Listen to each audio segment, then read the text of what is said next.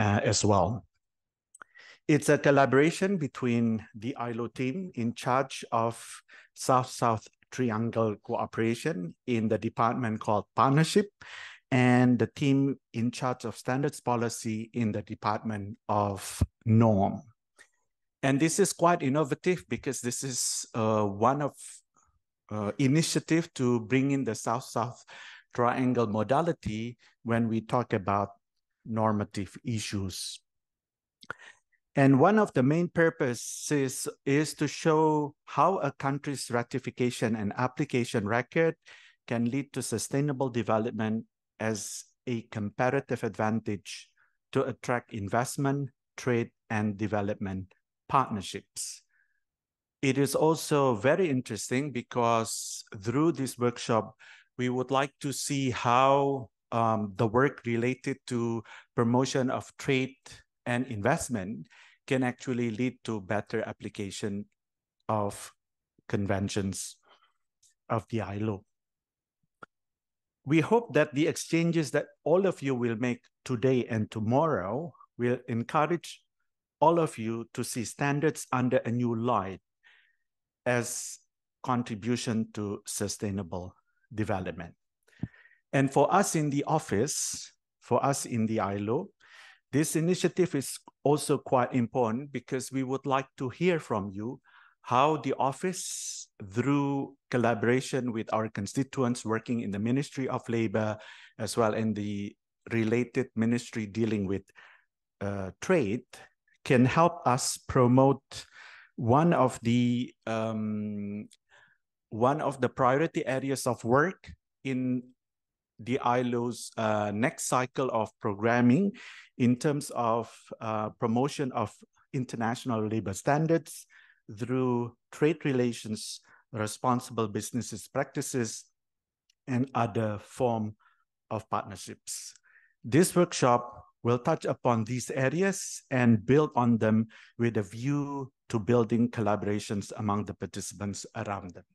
So we are actually glad to have all of you here from the three countries because we would like to hear from you. What is your real experience in dealing with the promotion of international labor standards through the work related to the trade and investment, which is why in one of my walk to meet all of you in this uh, this morning, I, I'm very glad to see that not only constituents representing the Ministry of Labor, but also those representing the Ministry of Trade and Commerce. And this is also a, a novelty for the ILO because we bring in countries which are either have just graduated from the LDC or are about to graduate from the LDC.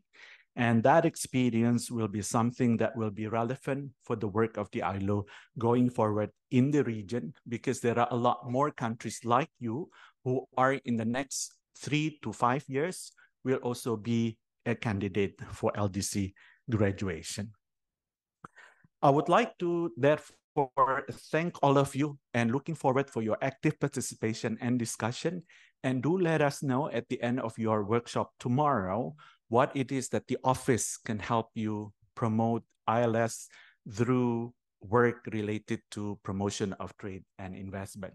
And I'm also pleased to see that the um, way of doing this workshop is quite, um, um, how should I say, different than the normal way of ILO conducting workshop.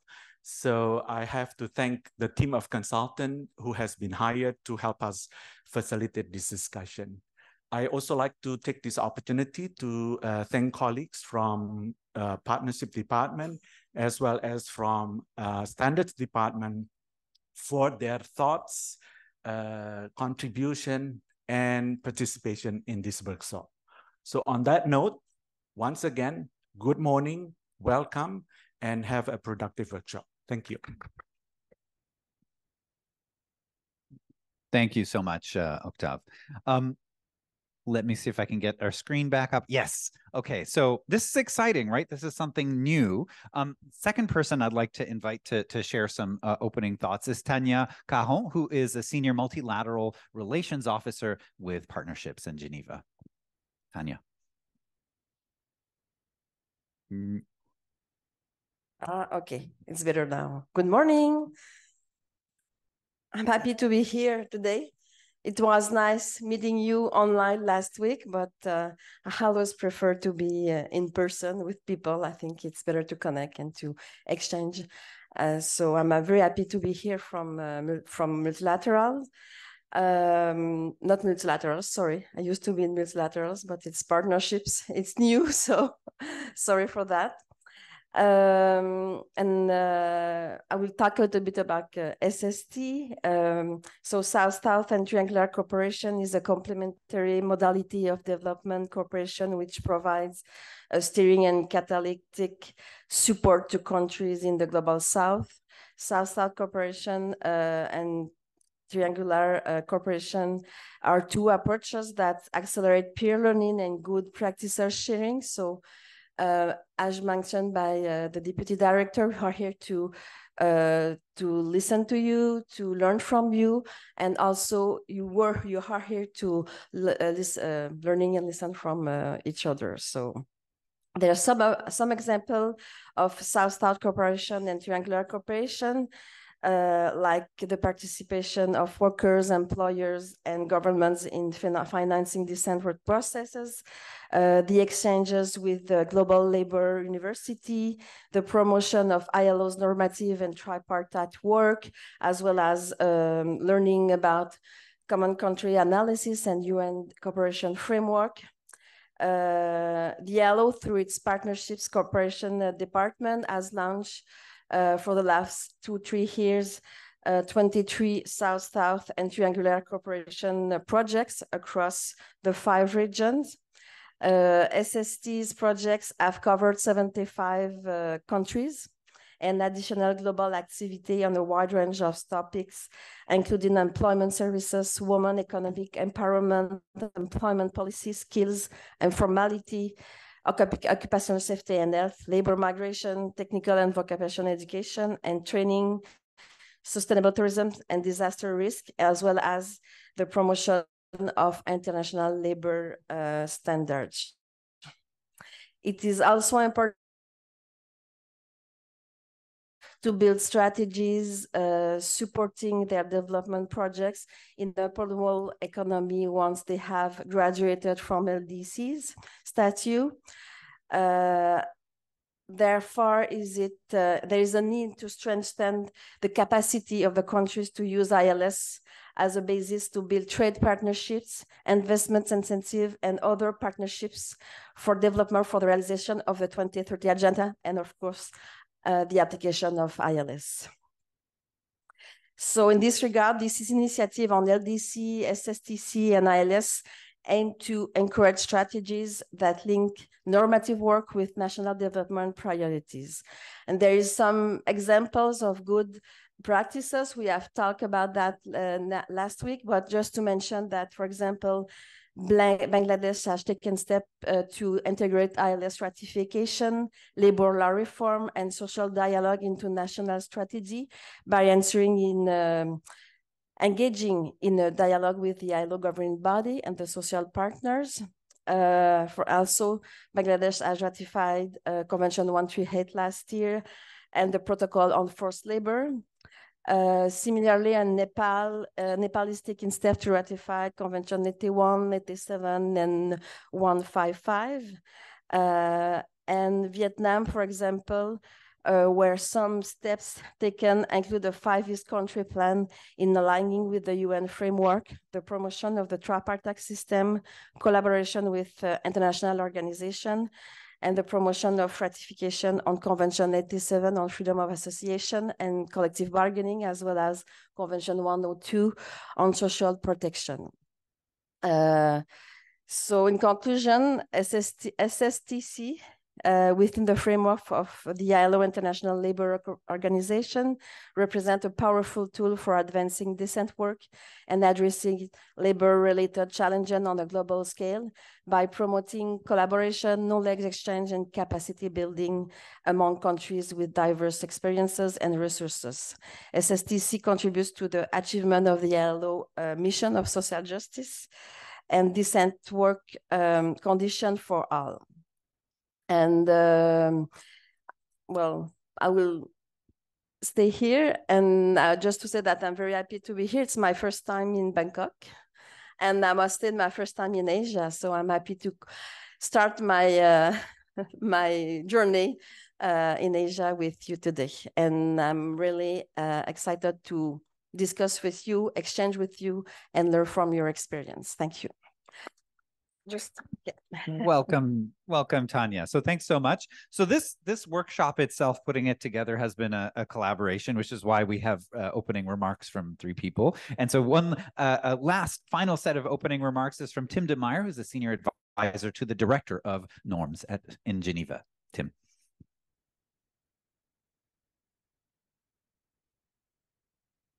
Thank you.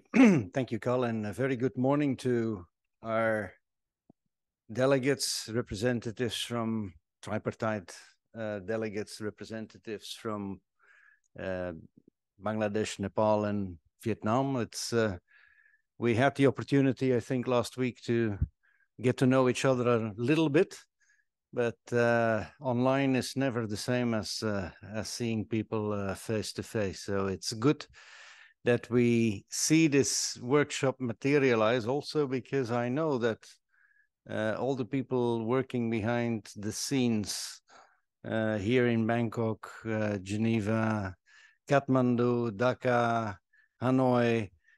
Uh, I witnessed mostly, uh, given that it was my colleague uh, Katerina who was doing most of the preparatory work, but I could, I was copied on all the emails and I could see that over over the period of a year, there's an enormous amount of work that has gone into this this this happening. So we're we're really really pleased. I'll be I'll be uh, short now because I think I am actually next up on the on the next uh, the next session on the the normative the normative strategies. We'll explain a little bit. Uh, trying to get you into the mood, so to speak, what uh, what a normative strategy is, why it is, um, and really what it is about. Uh, I repeat what I think I said last year, what last week, not last year. Maybe I, last year I said it as well. Um, what it really is about is to think about international labor standards in a a bit more of an innovative way, a bit more of a creative way, a bit more of a helpful way, rather than reducing international labor standards to the procedures that we all know to an extent fairly well, I think. And if that is not the case, please do not hesitate uh, to ask questions. Most of it will about process actually uh, today and tomorrow. Uh, a lot of it, a lot of your work will go into uh, process-oriented work, but at the end of the day, is the substance that matter and the difference that uh, that this substance makes in the lives of people. So if you have questions on the substance with respect to the various standards that we are referring to, please do not hesitate. But what it is at the end of the day is to look at international labor standards to see how it can be helpful. And in particular, in today's world, how it can be helpful towards, as, as was saying, um, become, okay, it's, a, it's about attracting trade and investment, but it is also far more importantly, trade and investment are only means. There, it's really about making societies more stable, better governed, uh, and producing better outcomes in terms of life for uh, for the many people uh, that uh, the many millions of people that uh, that live in the countries that are represented here um, today. So it's in that uh, perspective that I wish everyone um, good inspiration and also do enjoy your time here in uh, Bangkok, particularly for those who's uh, it is the first time to come here because it's uh, it's a true metropolis. It's a true um, a true city of the world in all its aspects, good and perhaps sometimes less good. Uh, do enjoy your time. Take uh, take uh, take your time to be inspired and hopefully hopefully we will be able to uh, do this again either with the same group of countries or another another pairing this continent is very diverse we have brought together three countries that perhaps not in all respects have that much in common. I think I also said that last week. Um, different histories, different legal systems, different political priorities. Uh, but as we all know, politics also come out of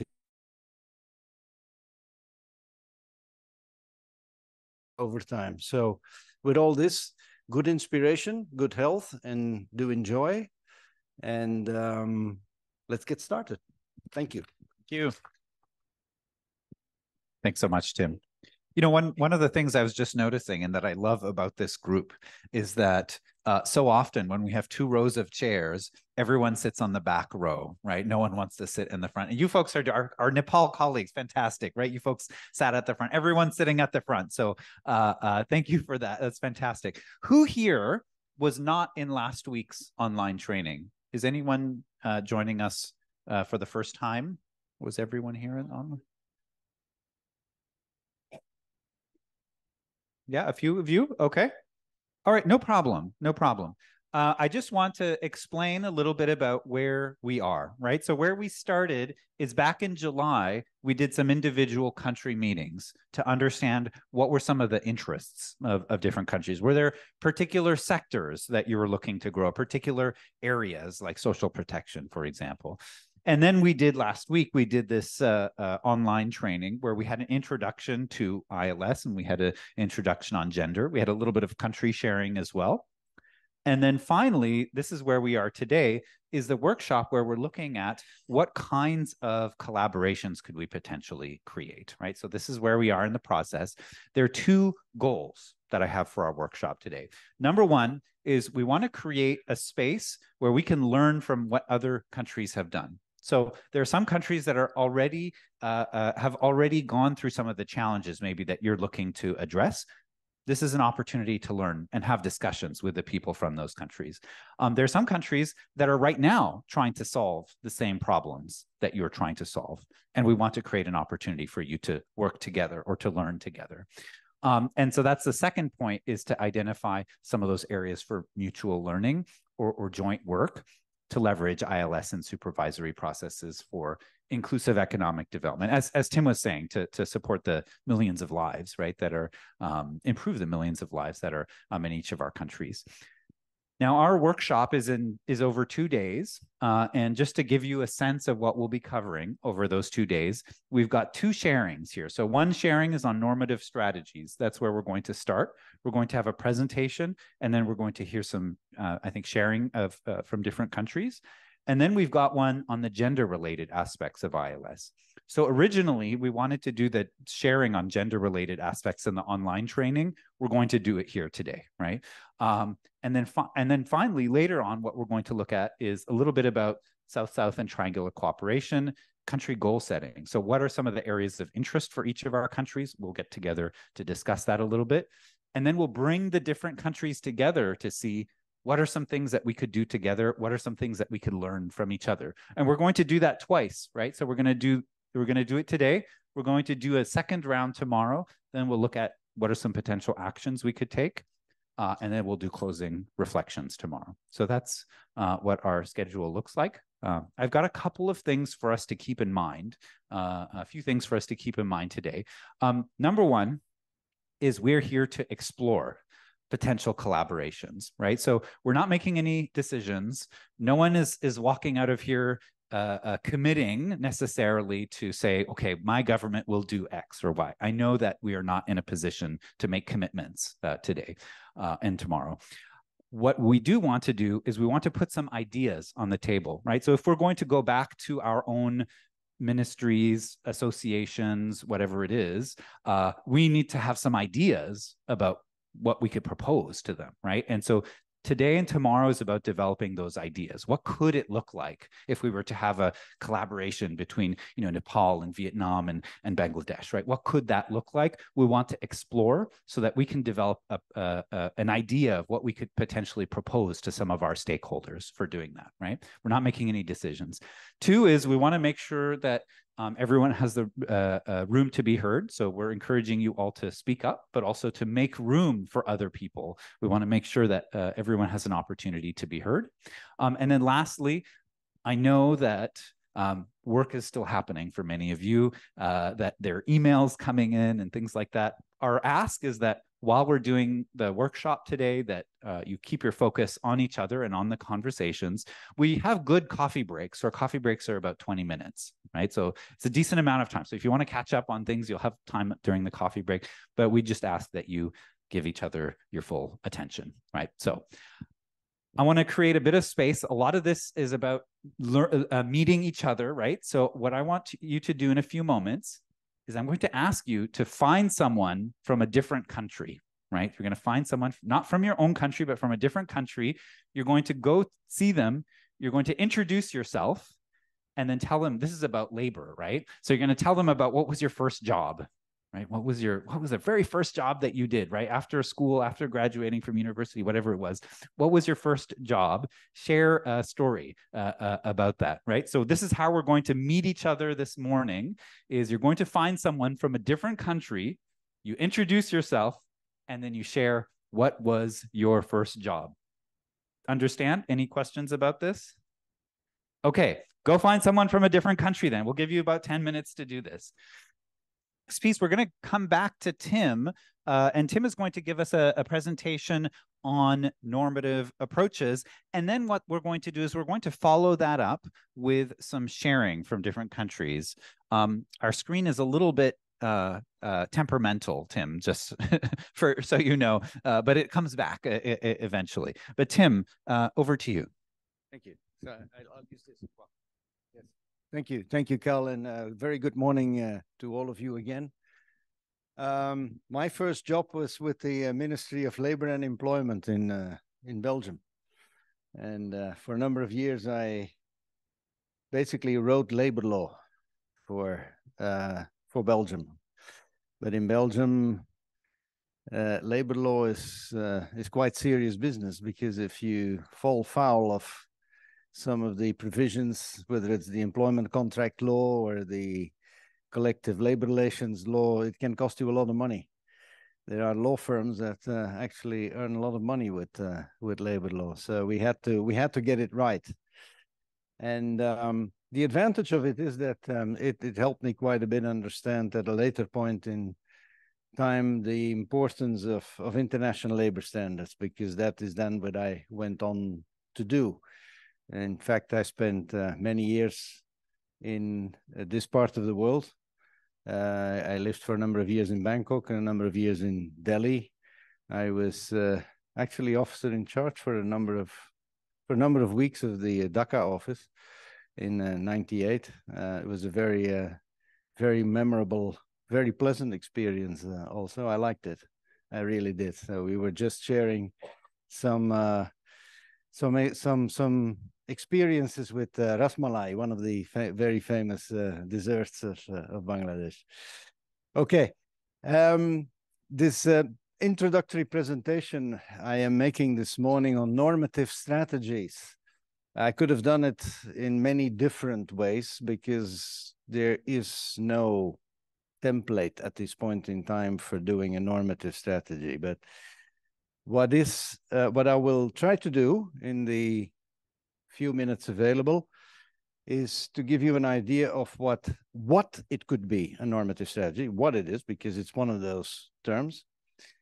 Uh, a little bit of a maybe a reminder of what i said last year. Why are why are we doing this? What's the the purpose behind it? And then just um, a few hints. And what will be very quite central to these hints is that when you do a normative strategy, please do not only look at ratification, but look at application and look at what the supervisory bodies of the ILO, the bodies that are mandated to review the application of international labor standards, please do take a look what they have to say. And do it in a way that makes sense to you because um, the ILO supervisory bodies, to put it in simple terms, they are given a particular mandate, and that is to look at the official information they have, compare it with what the international labor standards negotiated at the global level have to say and point out what the what the divergences, what the gaps are. And over time, the expectation is that countries, because they have undertaken these obligations, the expectation is that countries close these gaps. Does that mean that you need to close each and every gap within 24 hours? No. And this is where this is where the strategic element comes in is that you need to think for yourself, given the situation we are in right now, given our history, given where we want to go, how do we, what do we take on first? And communicate that as clearly as you can to the ILO supervisory bodies. And why is that important? And here we come back to the question of trade and investment, because this is the way you communicate with the rest of the world. This is how you have an opportunity to make the rest of the world understand what it is that you are trying to do in the light of the obligations you have undertaken. Uh, please keep that keep that in mind. Ratification, but also application, and do it in a way that make sense to you. So, if this screen is no longer temper temperamental, then let us. Very good. Yes. So what are normative strategies? Oh, I would have wanted this to come out a little bit uh, bigger, but that's okay. We can uh, we can live with that. So as I said, strategies that are country specific and that seek to make international labor standards an integral parts of efforts to advance decent work and sustainable development all of you, all of you indirectly have subscribed to the 2030 development agenda. Correct? How many targets are there in the sustainable development agenda? 17. And how many of these have to do with decent work? SDG 8. Yeah, that's what everyone says. But actually, international labor standards have to do with far more than SDG 8. SDG 8 is the SDG sustained and sustainable economic growth with a view to advancing decent work and full and productive employment. Now that's SDG 8. So that's where the term the decent work appears. But if you eh, take, take SDG 10, keeping inequality in, in check, you will see that there is an indicator somewhere there making sure that the so-called labor share does not get out of whack. That means the amount of income that a country produces and that will come to those people to people who work as as as opposed to the people who have basically capital. That is something that is very important for international labor standards. Just to give you one example. So most of the SDGs, gender equality, poverty eradication, and so on, have to do, or international labor standards do contribute to them. And, and so you need to give all of these aspects a little bit of a thought when you develop a strategy. Um, strategies that pluck blind spots amongst the decent work strategic objectives. Oof, that's uh, that's a mouthful. Um, I do assume that most of you are familiar with what the decent work strategic objectives are.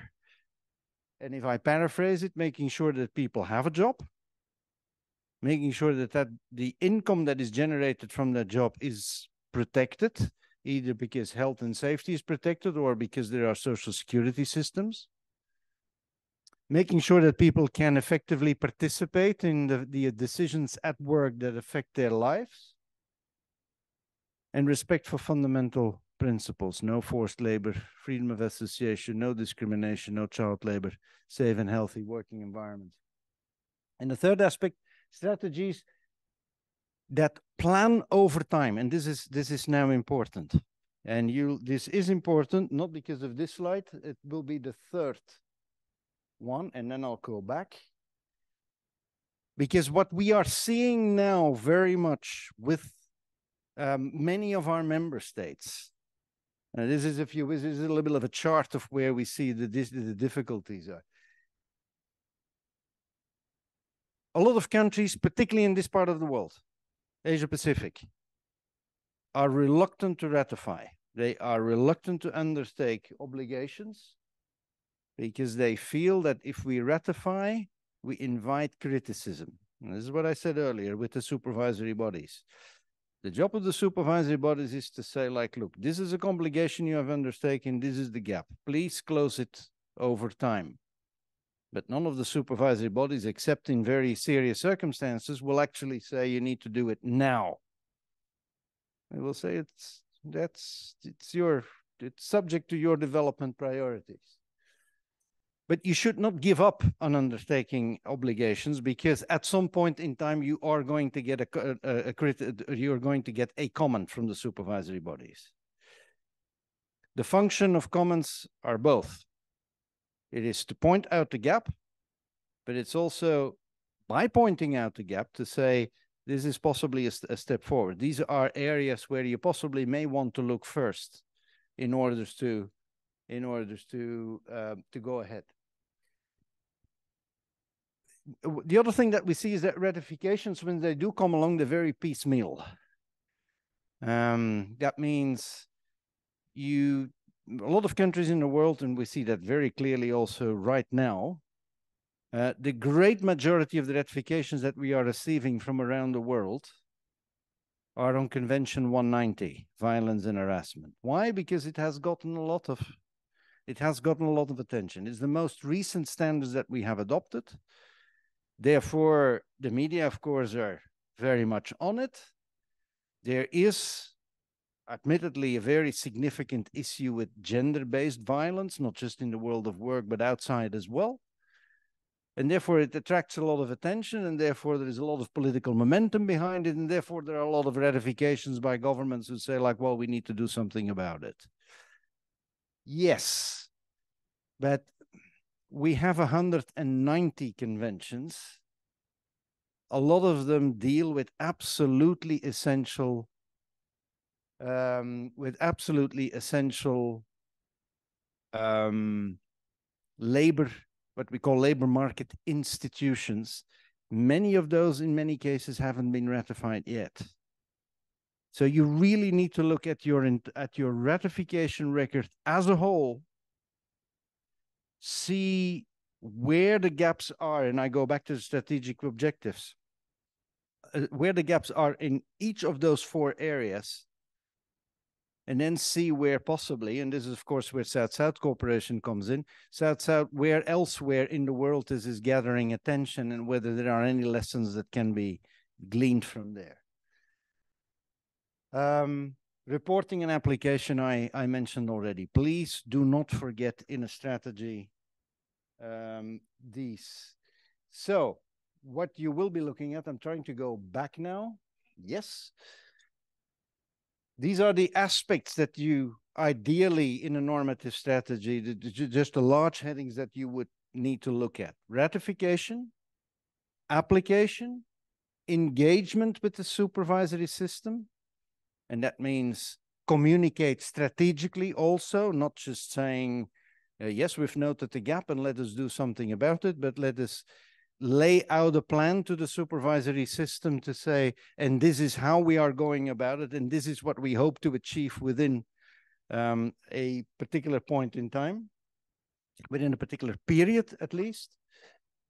Um, engagement with standard setting because the organization continues to set standards, which is necessary because the world of work changes. We will be looking at new standards on biological hazards, protection against biological hazards in 24, 25, 25, 26, standards for workers in the platform economy. Down the line, probably also standards around ergonomics and maybe at some point access to labor justice in order to improve dispute settlement. So all this is down the line, what we're looking at. And it's important that you also engage with these issues uh, in your normative strategy as we go along, because the more work you do up front before the standards are set, the, the less work you have to do afterwards. The more you are prepared to consider the importance of these matters for your for your own development. Connectivity with the human rights systems. That's also important. Why? Because in many cases, these are different ministries within the countries concerned.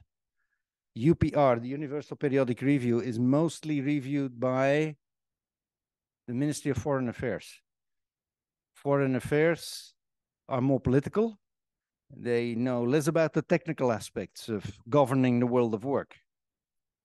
But it's important that labor administrations, for example, as well as, of course, the social partners, that they have an opportunity to to help the foreign the um, the foreign affairs ministry to understand the issues that are at at stake. But the the um, the universal periodic review is of course also um, a mechanism that has given that it is United Nations proper, so to speak, that has significant visibility. So a lot of the things that you are working on, you may actually want to. All of this is part of a of a normative strategy. That's so that's the first thing, is the what. I am because I'm looking at the time. Um, normative strategies. I spoke about that last week. So let me perhaps say a little bit less about that. Where do I need to point in order? To, yes, okay, good. Normative strategies. Why? Because it's good for you, that's the one thing. And the other thing is, it's important for the rest of the world. Not everyone in the rest of the world pays equal attention. And this is why you do find conditionality, uh, which I will speak about a little, the conditionality with making trade preferences subject to uh, international labor standards. You're typically going to find this with the countries that are, so to speak, high income. Um, and you're less going to find it with countries that are uh, middle income because for labor intensive countries, for labor intensive countries, of course, having more trade, the opportunity to trade more is important because it provides employment, income, social stability, source of hard currency, infrastructure, human resource development. The list is endless. For the high income countries, they have a stake because better labor standards contribute to political stability, a, a, source of cheap consumption goods. Let's let's be honest. That is that is certainly part of it, and an export market for more techn technologically intensive goods. But for that to materialize, of course, living standards in developing countries need to go up. Yeah. So the the growth of a middle class in a middle income country is very important for the high income countries in order to to be able also to benefit themselves from increased in, in, uh, exports. So that is a little bit that's a little bit the picture why um, why labor standards matter for everyone and in a trade and investment context and why um, it is good to keep that to keep that in um, the development of a normative strategy. Um, okay, that is basically more of the same, so I'm going to skip this. Uh, in the interest of time, there's one thing that I would yeah, so this is a, just a quick overview of, for example, and I am here not as a representative of the European Union. Let me be that let's make that clear. We're here to, as I as we said in the beginning, to see how international labor standards can be useful for you in the first place, right? But this is where, in the world in which we live, one example of where trade preferences come in, come into the picture. So, the European Union is revising its unilateral system for trade preferences, according more or less according to these um, these principles. And one of the things that you, for example, C, is that for those who would like to have additional trade preferences, GSP plus, there is an additional expectation to ratify Convention 81, which deals with labor inspection, and Convention number 144, which deals with basically the bare minimum of tripartite consultations. Yeah, I'm not going to uh, to go into into this, but what does that mean? Well, it means, for example, in terms of ratification, if you look just at this aspect of the trade preferences, for Bangladesh, not much, because all of the additional conventions, 81, 144, you've ratified, uh, ratified all of the fundamental conventions, is done. Nepal, there's a bit more work to be done. Hmm? 87, and then particular 80, 81. Yeah. So this is this is how you would look at, at that sort of that sort of situation just from this angle. And now very quickly in the time that rests rests. Uh, no, I have to go back here is that also look at application, please? Yeah. So, for example, and this is by no means exhaustive. There are comments, plenty of comments in the supervisory system, both for Bangladesh and Nepal. And I'm picking out just a few here of the fundamental standards and pick out a few of the items that you may want to look in. So if I take, for example, Nepal, discrimination, the supervisory comments say that in the legislation, that legislation is still missing a definition of direct and indirect discrimination, and that it does not cover all of the prohibited grounds of discrimination that are listed in the convention. So the way you would look at it is to say like, well, maybe discrimination is not something that is up uh, in the next three years, maybe not the next five years, but we've taken note and we're at least starting to organize awareness raising. We're starting to organize workshops. We're starting to organize um, consultations internally to see what does that mean, direct and indirect discrimination? How could it be important for us? Do we really have issues in this area and how are we going to deal with them? Yeah. So if you just look at the supervisory comments, that's what it says because it's a gap. We know in practice that indirect discrimination is the most insidious form of discrimination, difficult to find, but important if you want to get to create a more inclusive society. Okay, again, in the interest, we can go through all of these. There are questions. Happy. Um, I am, yes. This is just to say, these two slides are just to say, there is a phase coming after you graduate from LDC status. And that is the next phase is that you will start with countries, with groups of countries like the EU, you will start um, developing free trade agreement.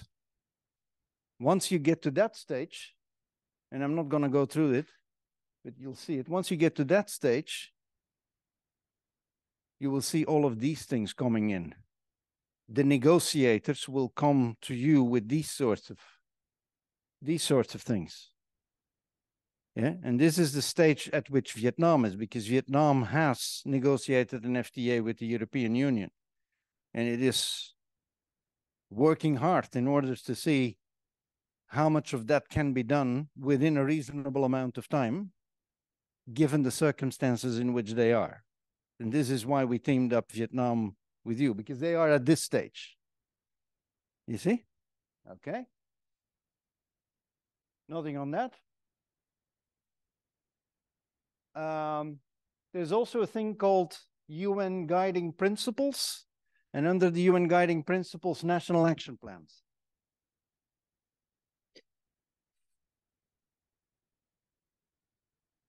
Vietnam has a national action plan. Nepal is in the process of preparing one, and Bangladesh doesn't have one yet. This is important because that is determinant for what governments can do in order to create an investment climate that is in line with the UN guiding principles on business and human rights. Uh, that's all I'll say about it. But that is the, so to speak, the private, that could be the private sector chapter of your normative strategy. What is it that we need to do in order to um, to help business be better prepared for the human rights expectations that are existing in other parts of the world? Finished. Last observation. When you have a strategy, normally you think of a baseline you think of an objective, and you think of how you move from your baseline to an objective. So you ask yourself, what's your baseline on ratification? What's your baseline on application? And then you move. And it's that movement in between that is a key part of your, of your strategy. So baseline, process, objective. for Bangladesh, for Nepal, and for Vietnam, all three of you, and I think it is in the package that's been shared, you have so-called normative stock takings. They give you all of the details of where the, what the baseline is and the things that you can consider. Um, I don't know if you have taken a look at them. If not yet, please do that. You can find inspiration there for how to develop a normative strategy. That is it as an introduction. Thank you. Fantastic. Thanks so much, Tim. And Tim, just uh, uh, stick around for a moment. Yeah. Um, you're clearly very experienced in this space and i just wanted to know for our for the benefit of our participants and you're not going anywhere but during lunch or coffee break if if they wanted to talk to you what are some areas that um, you might be able to bring some expertise or, or advice on what it is about priorities Mhm. so what what do you what what do i think is priorities based on what i see happening globally yeah yeah fantastic Yeah. okay Yep. great did anyone have any questions for tim yeah over here let me let me pass you a microphone and just introduce yourself as well Yeah, thank you very much for your wonderful presentations. Uh, I have like some comments and observations regarding the definitions of the discrimination in Nepal. By the way, I'm representing Nepal. I work in the Ministry of Labor, Employment and Social Security. Uh, the thing that you have mentioned in your presentations, like we have ratified Convention C111, and uh, of course, yes, uh, the CA, CR have advised us that okay, we have to like uh, make definitions more clear. Uh, in convention c11 they have like six criteria for the discrimination they have mentioned there. In our legislations we have we have eight. We define two more criteria not to be like discriminated and um, there the committee has asked us to clearly mention about the political views the, the discrimination cannot be made on the basis of the political views in our legislations we have uh, the provisions of ideologies. So no discrimination can be made on the based on the ideologies. So we think it's like quite enough to cover the political uh, political opinions. So like that's my comment uh, for your like uh, um, that you have mentioned before. Okay Thank you. I think I think there were two. Well, thank you first of all for that uh, for that comment. Um, and I am sure that if I would have listed others, then there would also have been because each of these items can be discussed, and this is why this is actually why we're here to di- to discuss them, right? I think there were two missing, if I'm not mistaken. One was political opinion, and the other one I can't exactly remember. There was another one that is missing. Um, the idea is that these seven that are mentioned, these prohibited grounds of discrimination, the idea is that they have to be found in um, in national legislation. You can have many more. Hmm? We have countries that have 15, 20, 30 prohibited grounds of discrimination. But these seven you need to have because they deal with fundamental freedoms. Yeah. Now, the point that you were making, saying we have ideology and we think that's enough to have political opinion. I do not read that from the comment. I did not read that from the comment. So maybe you have not communicated that yet. Maybe it could be useful that you explain exactly what you understand under ideology. But the normal rule would then be that you provide evidence of that interpretation, ideally from a court case. Yeah, because the government saying one thing is one thing, but eventually, and this is in fact a standard request for most conventions, it you're expected to show how the courts are understanding the law, not just how the governments are understanding understanding the law. So this is something that could help. To, in order to make the point, if you say like, look, we have a different term in legislation, okay, fine. Um, try to give evidence from ideally a Supreme Court, apex court, whichever one it is. Excellent. Thank you. Were there any other questions? Okay, well, thank you very much. We're going to move into the country experience sharing. This is one of the things that's so wonderful about bringing this group together is that everyone has some country experiences. And our first uh, share is Laxman Sharma, who's the General Secretary for the General uh, Federation of Nepalese Trade Unions, GEFONT. So, uh, Laxman, would you like to go ahead and share? Thank you to share my country experience, uh, this opportunity. Um, you have already mentioned my name. I represent GEFONT as General Secretary. It's trade union.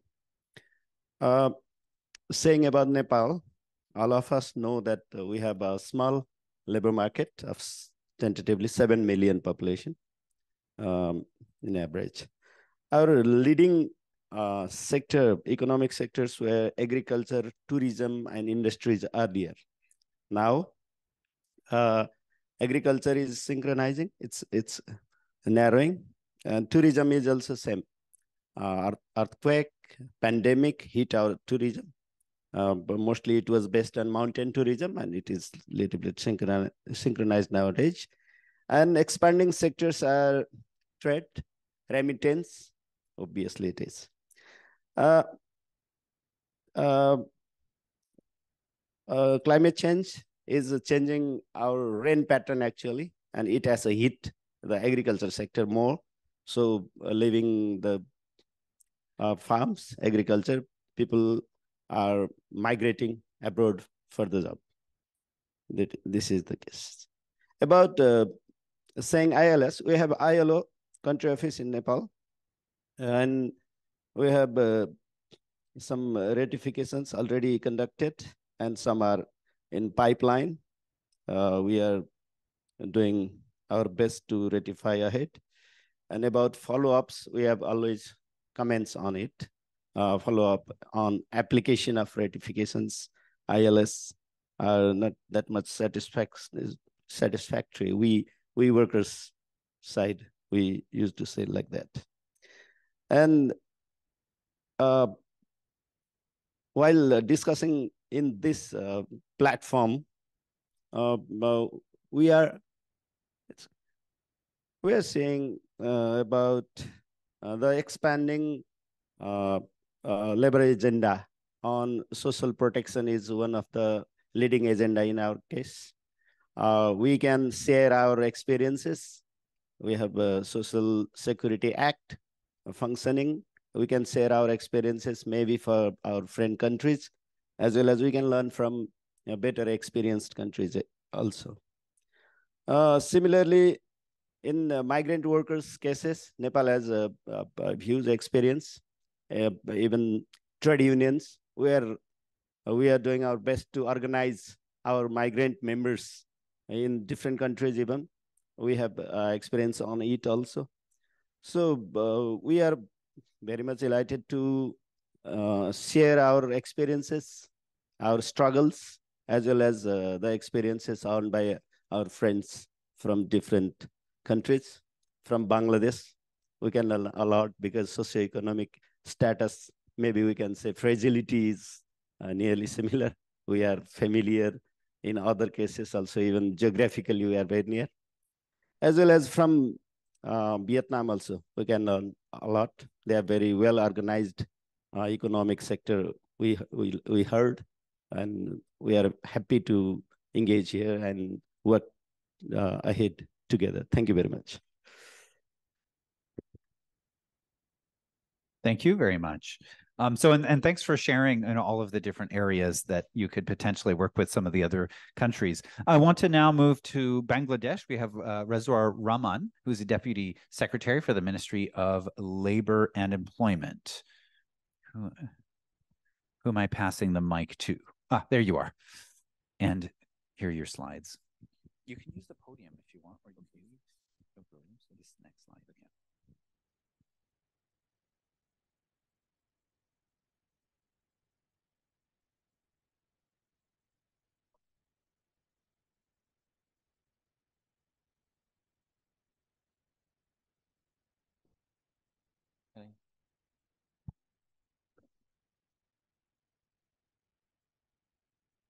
Thank you. Welcome, everybody. So uh, we'll be talking about certain aspects that we have heard from Nepal. So we would uh, look into similar things from Bangladesh.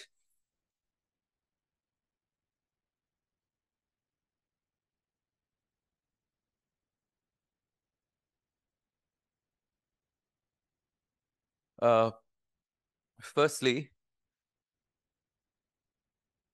we'd like to uh, like Bangladesh, uh, we are enjoying demographic dividend. So a large number of our population are uh, from 0 to 24, so which is a positive sign of demographic dividend. We have strong migrant workers living uh, as expatriates, and we have export-driven manufacturing, uh, which is contributing to the economic growth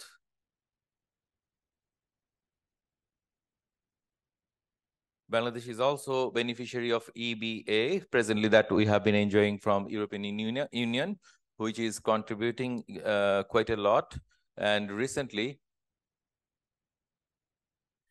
uh, recently uh, Bangladesh uh, has uh, reached up to uh, like beating China. Bangladesh took over as the number one exporter in European Union market. So there are areas where Bangladesh has ratified. For an example, Bangladesh has ratified all 29 conventions, uh, two of the four priority conventions, that is conventions 81 and 144, and 26 technical conventions. Now, Bangladesh had been uh, only one of the few countries which actually ratified all conventions that existed. However, the change in the uh, uh, conventions that were uh, um, a latter change. So Bangladesh has to now ratify a uh, few more. So the fundamentals uh, convention 87, 98, 100, 111, 29. And this is the picture of uh, ratifying the minimum age convention, uh, which is uh, popularly known as minimum age convention. So we are have been engaging in tripartite consultation on unratified conventions as well. So uh, from ILO support and through uh, discussion and understanding. So we have come up with an annual work plan for reporting and how to deal with the issues. So that has been approved and uh, taken into consideration into the activities of the uh, Ministry of Labor and Employment.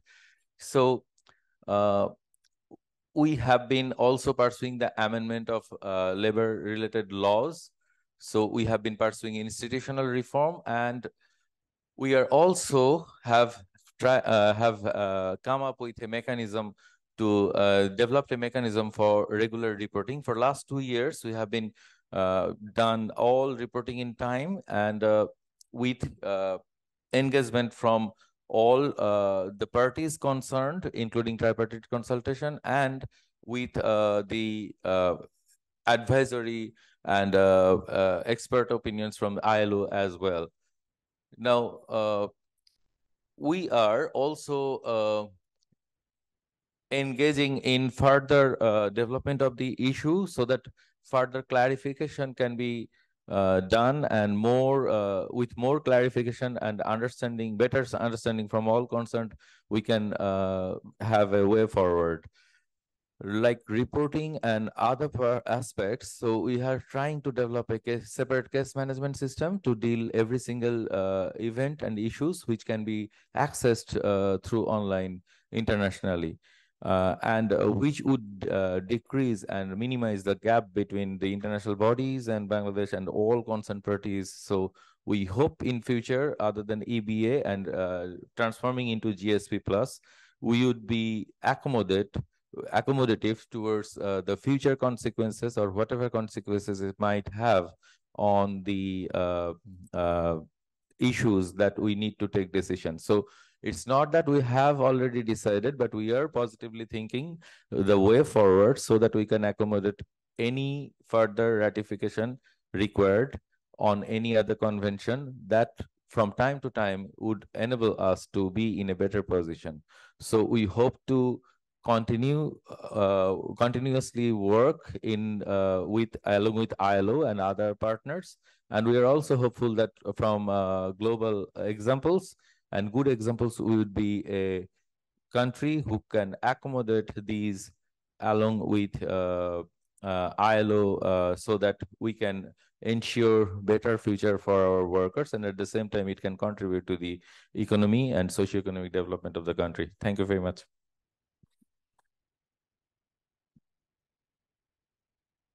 Thank you so much for that sharing. Um, and then finally, we're going to invite Mai Nguyen from MOLISA, the Ministry of Labor in, in Vietnam. Mai.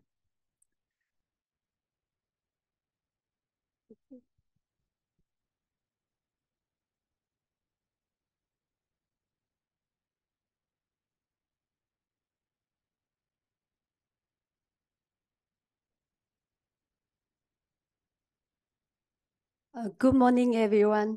Uh, very nice to uh, meet you today.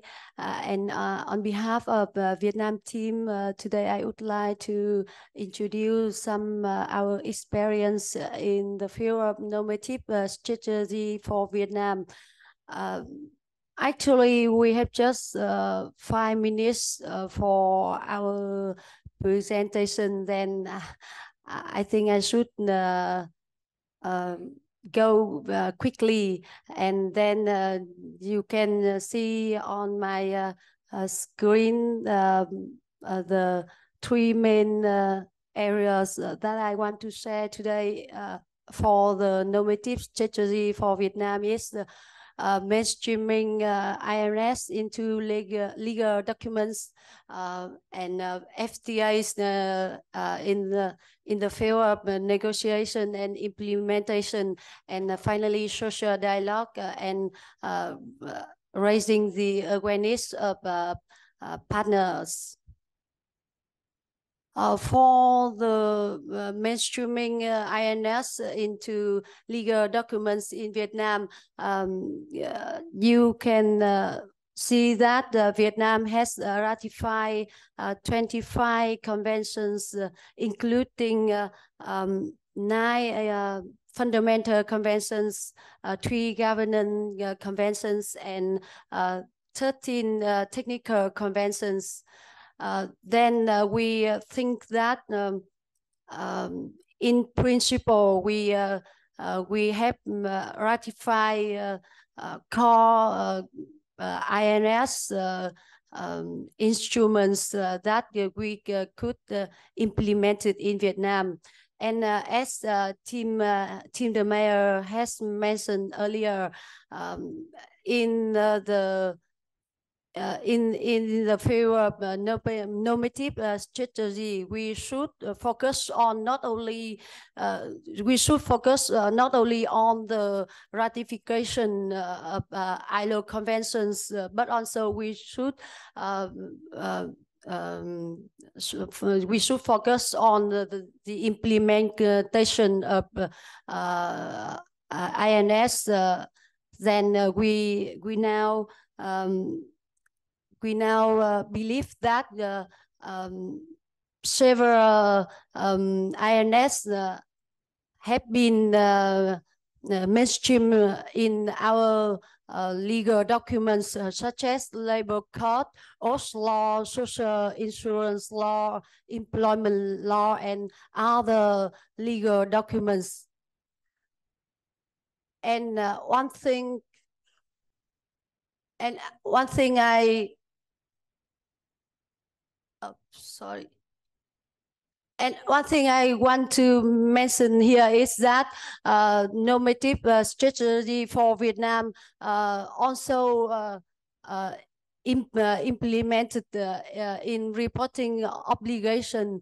Then now, based on the help of the ILO, we we we implement the um, all of the reports uh, uh, for not only for regular report, but also for other reports uh, for uh, the ILO. And uh, we believe that that the reports are now as good enough. Oh.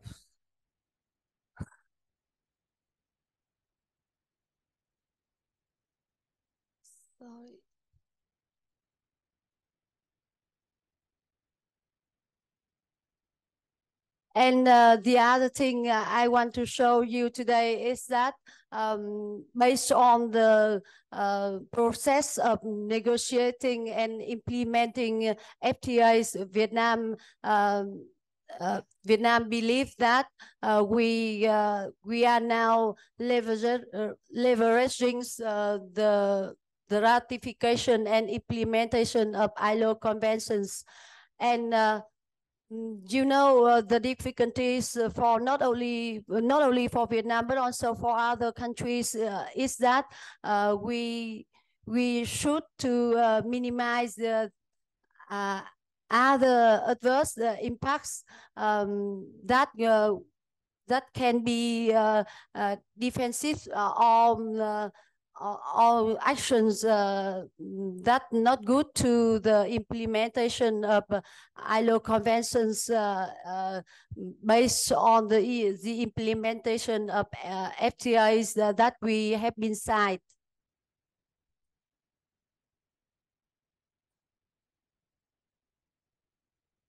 And um, the, the other thing uh, involving in uh, normative uh, strategy is that uh, uh, we uh, have a good relationship between tripartite, tripartite parties from the government, the representatives of employers and employees. Um, one thing we want to mention about is that uh, we also have the um, uh, decision of uh, the prime minister involving the responsible business conduct.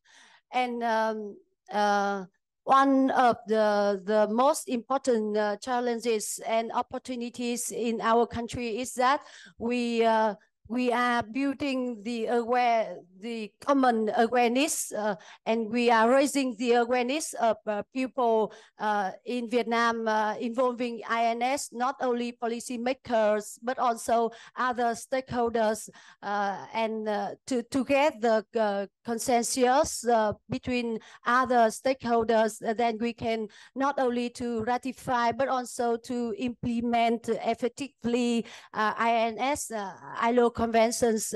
And uh, through all this, all of these activities, we believe that uh, all conventions that we that we have been ratified and uh, all of uh, um, uh, that we uh, have been uh, signed and also other FTA that we are on the way to to, to, to negotiate will be will be implemented effectively uh, based on our uh, common awareness and consensus. Thank you for your attention.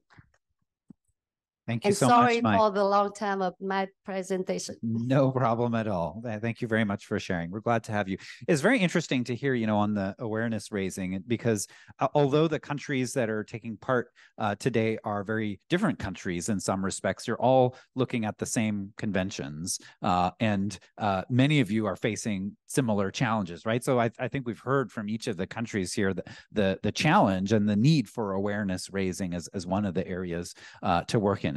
Did anyone we've so we've we've had a little bit of an opportunity now for the three countries to introduce themselves a little bit, let's say, and, and hear uh, about some of the experiences. Did anyone want to ask any uh, questions from any of the presenters that have presented so far? Yeah. Uh, actually, thanks, colleagues, uh, respected experts from the ILO, and uh, actually uh, hearing uh, the better progress even in the convention ratification, even in the Bangladesh and Vietnam, it's very uh, good to hear these kinds of things. And Nepal has not so much progress, and we are trying to uh, ratify some of the convention and the protocols. Yeah. Uh, it is online. Uh, we are uh, uh, we, we are doing some kinds of job on it. Actually, uh, the, the 36 convention uh, from the side of the Bangladesh already ratified. Yeah, it is very good. But only my question would be the like this. Yeah, uh, th- that there is there is the convention. Uh, either it had it had uh, the parliament discussions and the, it had the matter of the parliament parliament discussion uh, and ratified it or uh, government uh, uh, itself ratify it. This is one, one, one issue one questions. And the second question for the vietnam that why it is it was the subject of the parliament uh, or not. Yeah, parliament, it, it has gone to the parliament or party parliament ratify it or government itself ratify it. It, it, is, it, it, it is my question. And the second, second, uh, some uh, in our provision, actually we have in Nepal, the provision is has to go to the parliament the that's why uh, uh, it yes we have we, we have been doing some kinds of ass- assessment on it yeah. But uh, ultimately it requires uh, it should go to the parliament yeah. Uh, that's why it takes time.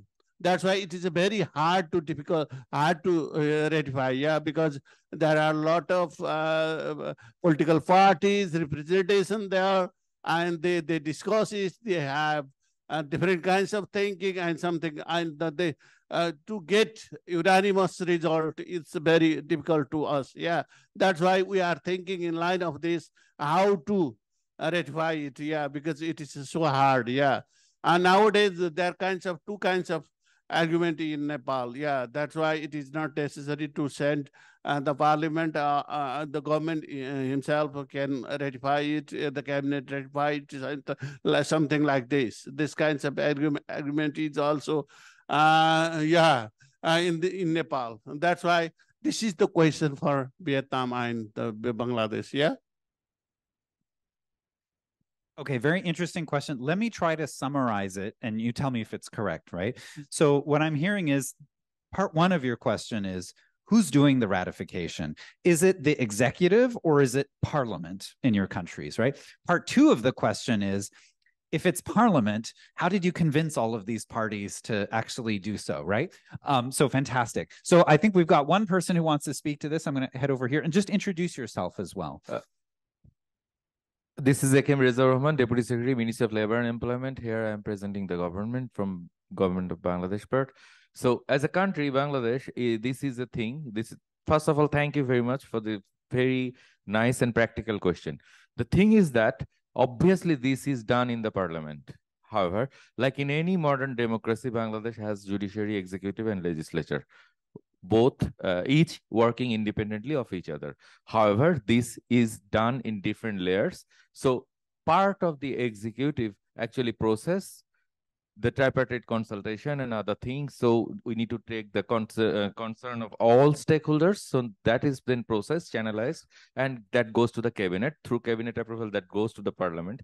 Then after it gets the parliament's approval, then only it can be ratified as a country, as a nation. Thank you. I hope you understand. So like, uh, so uh, if uh, anything uh, other than uh, like uh, which requires the approval of the uh, legislature. So it goes through the cabinet, and then ca the if the cabinet approves, then it is finally ratified. So, to your question, it is obviously it in cases it might go to the legislature or in cases it might not go to the legislature but it obviously will get the approval of the cabinet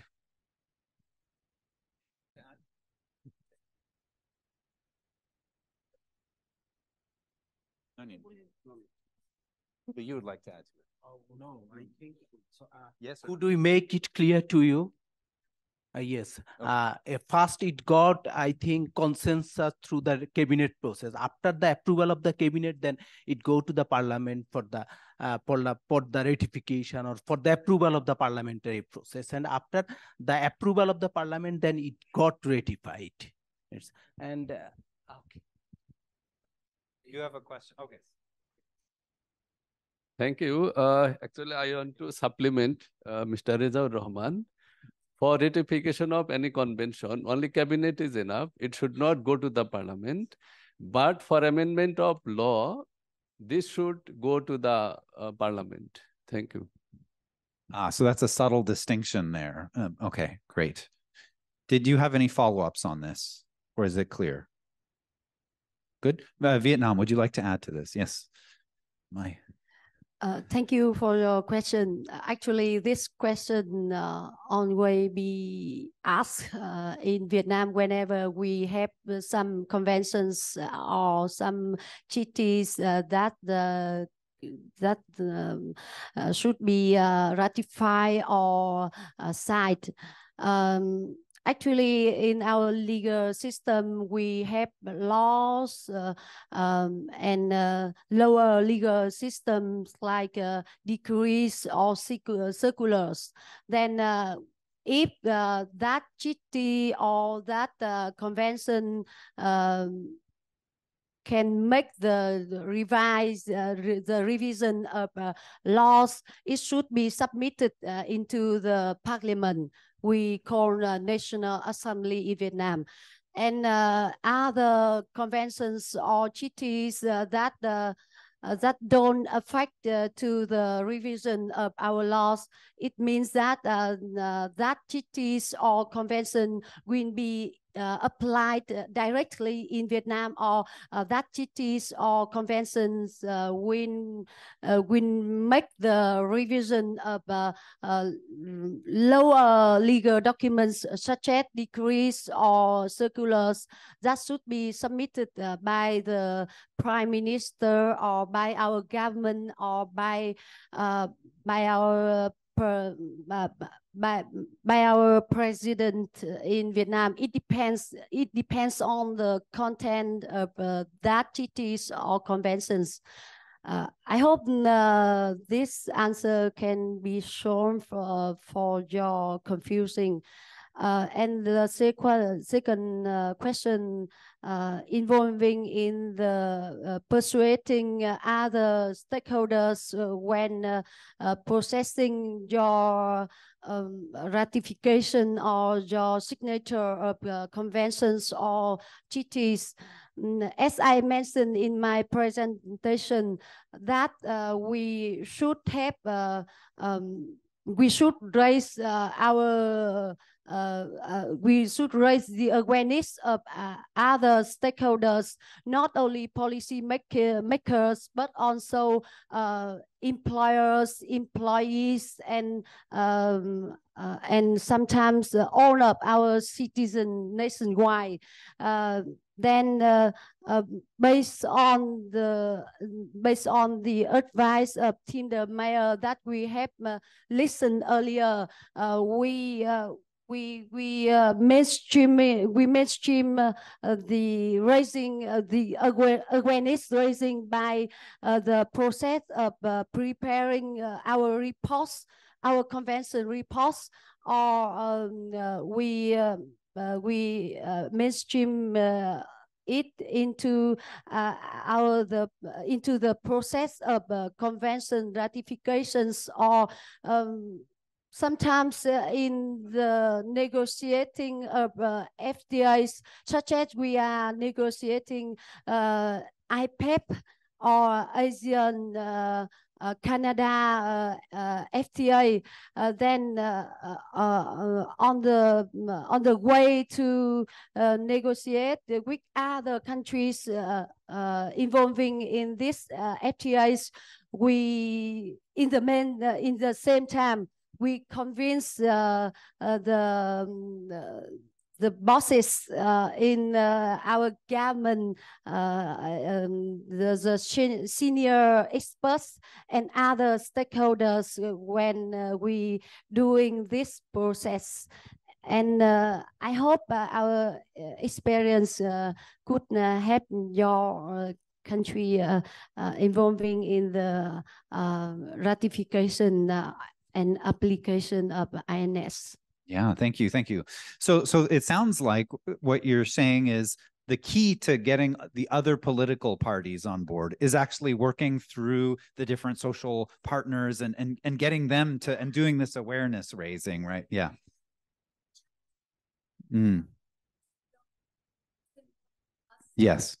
Yeah. Excellent. Okay, thank you so much for sharing. I think we've got one more question. Oh, is this a comment on, this is additional. Okay, great. Let's go that, and then we'll go to your question. Yeah. Good morning. Uh, I have question to the Vietnamese colleagues that uh, they have a ratification, I think, uh, 27 convention. So, so, question for the Vietnam colleagues. Yeah. You, you ratified 27 convention. 25. Okay. Uh, it is my interest to know that how the workers enjoying this uh, ratified uh, convention uh, with 87 and 98. They enjoying this uh, ratification, the convention 87 98, and how that, and how many convention they have implement in the uh, in their country, because because so many countries they ratified so many convention but not implement properly. Mm. So it is my question up to Vietnam, how they are doing these things uh, in their for the workers. So so the question is, how's the implementation going? If I understand correctly. Okay. Did you want to speak to that or did anyone want to speak to that? Yeah. Excuse me. Uh, could you explain more for your question? Uh, you want to ask about the role of uh, the representative of workers, right? Yeah. No, uh, no, you have a ratified 25 convention. Yes. How many are implementing in that in your uh, country and how the workers are enjoying the uh, convention 98 and 87 how they are bargaining with the uh, in their part it's a let me let me clear the question yeah. uh, the government of, of vietnam mm -hmm. they ratified 25 conventions, yes. ILO conventions. Mm -hmm. And uh, what is the reflection in your law mm. concerning the ratified conventions? And what is the uh, status of implementation mm. of those laws which are concerning the ILO conventions, which is ratified by you? That is the question actually. Mm -hmm.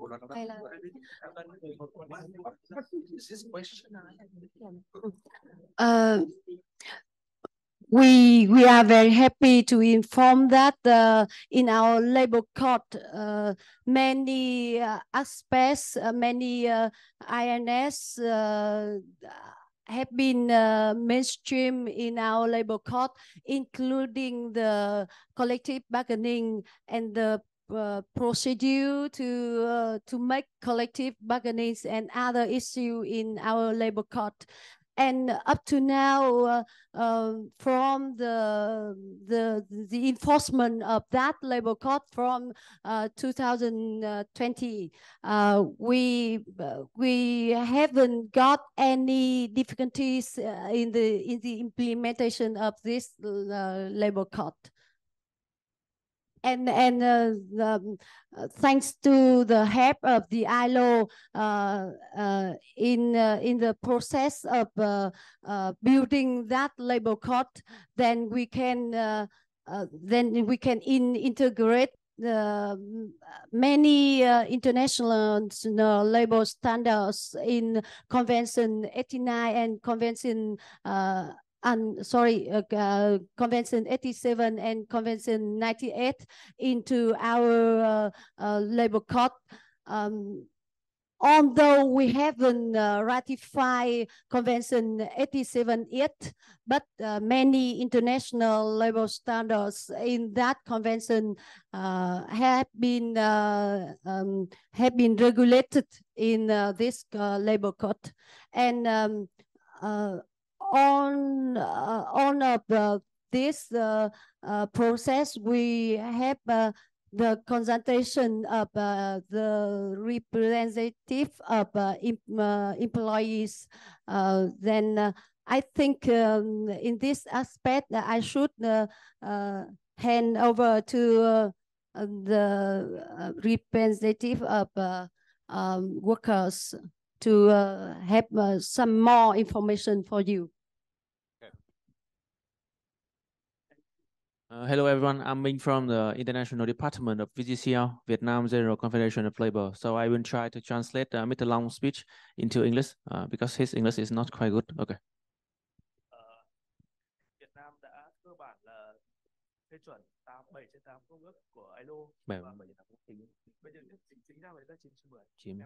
Uh, at the moment, Vietnam has ratified uh, 9 out of 10 uh, conventions of the ILO. ILO. Mm, fundamental conventions of uh, ILO.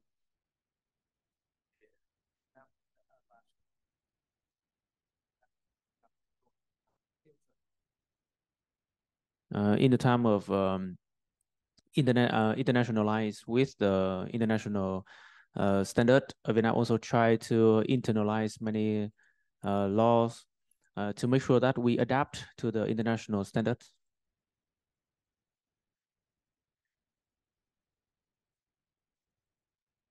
Uh, with the law about uh, in, in terms of the social protection and um, uh, the law um, Ms. Mai has uh, shared about this experience from the labor code.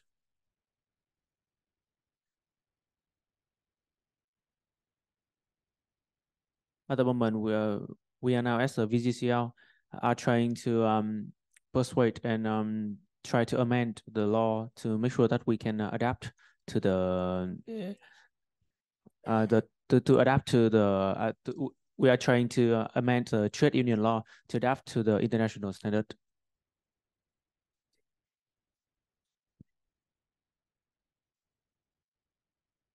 Uh, based on the plan, we are going to uh, put the law into the National Assembly Assembly in the in the 2024 of May and um, maybe put into effect in the October of the same year.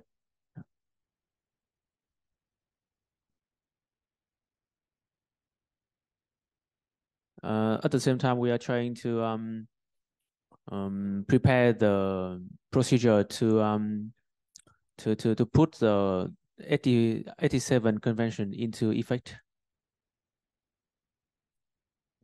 Uh, thank Great. you. Thank you.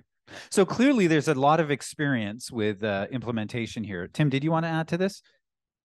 Yeah, just just adding because we we actually did quite a bit of work in Vietnam, I think, and we continue to do a lot of work, um, not just on the ratification and not just on the application, but on really on the legal system in uh, in Vietnam and uh, on two different occasions, 2012 and 2019, we had a significant process over one, two years, um, doing workshops, um, having consultations, even with the designated committee in the National Assembly um, to make improvements to the labor to the labor code, to revise the labor code.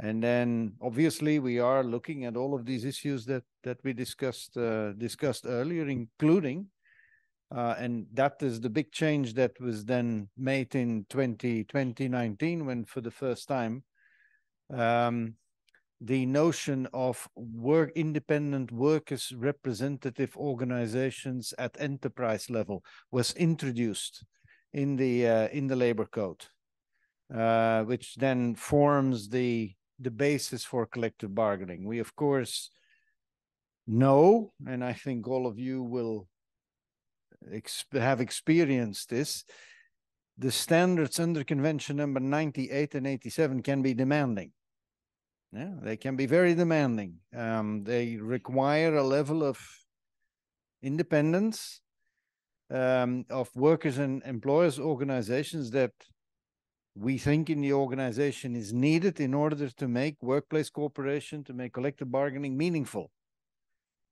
Yeah, um, one, one of the issues that Vietnam had, um, I think you'll readily agree with that. This is a significant number of wildcat strikes. Um, and in order to come to grip, one of the, the ways that we recommend to come to grip with wildcat, wildcat strikes is precisely to get um, to get a labor relations system um, organized uh, where the space is created for workers and employers to negotiate their own conditions. But when they negotiate their conditions to also stick to the to the commitments to the commitments that have been made. Now all of this is still is still work in progress but the main point here is that um, on two occasions and for sure uh, before we're 10 years down the line there will be a third process. Um, uh, significant uh, in, investment was was made with the support from from donors to gradually make those changes in the labor code that gradually provide that opening for for social dialogue. Is that more or less correct? Great. Yes. thank you tim. So I, i'll i think we've got a couple of is this a, a follow-up question yeah so we've got a couple of follow-up questions i just want to um, make a note to people that to keep your questions and your answers short because you are standing in between our participants and coffee break. Okay. So just a just a short short note on that, but go ahead. Yes. Okay. Uh, thank you. Uh, uh, actually, uh, from Bangladesh side, I'm the, from the, I'm from the trade unions. My name is Shakil. Actually, we came here actually just to learn from the case of Vietnam we know that you have graduated. You have a lot of best practices and good experiences. That's why my uh, specific question is whether you are enjoying the right of uh, right to organize and collective bargaining. That is very important. If you really enjoying right to organize, then how many of the percentage of your uh, workforce in the union? I mean, organized work, workforce is how, how many? What is the percentage? And how are you enjoying in terms of form, forming unions as well as collective bargaining, social dialogue, etc., etc., even up to the plant level? That is what actually I want to know from you. Thank you so much.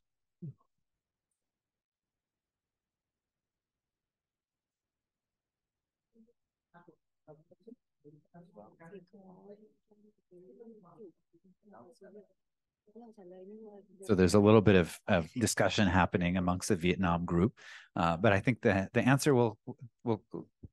Did you want to speak to that or? Okay. Okay. Okay. Maybe maybe what I can do is is while they discuss, I I have a backlog, so I have I have a question here first. Oh, two questions. Oh my goodness. Okay let's group the questions together, okay? So I think I see four questions here. We're going to go to these two, and then later we're going to go to It is a sharing. Okay, we'll keep that for a moment, right? Let's go to the questions.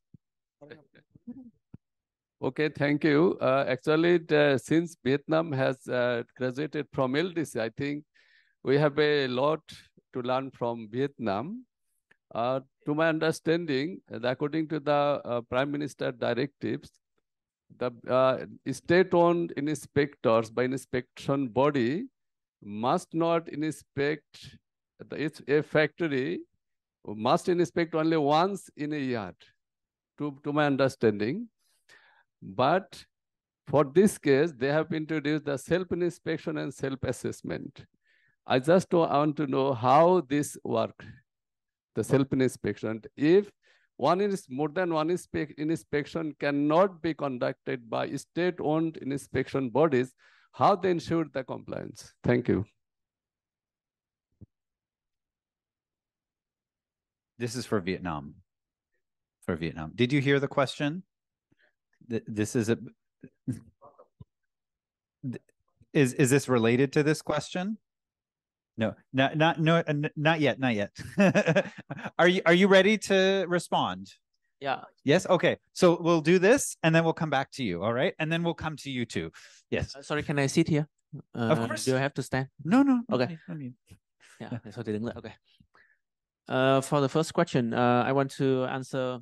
Uh, in the time of um, putting the trade union law into effect, especially the collective bargaining agreement, uh, trade union, especially the VGCL, have participated with many parties to make the law into effect. So uh, we can probably say that uh, workers in Vietnam are very enjoying the collective bargaining agreement. Thank you.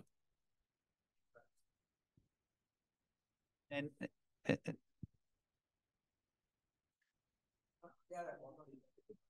I go, go ask them over coffee break.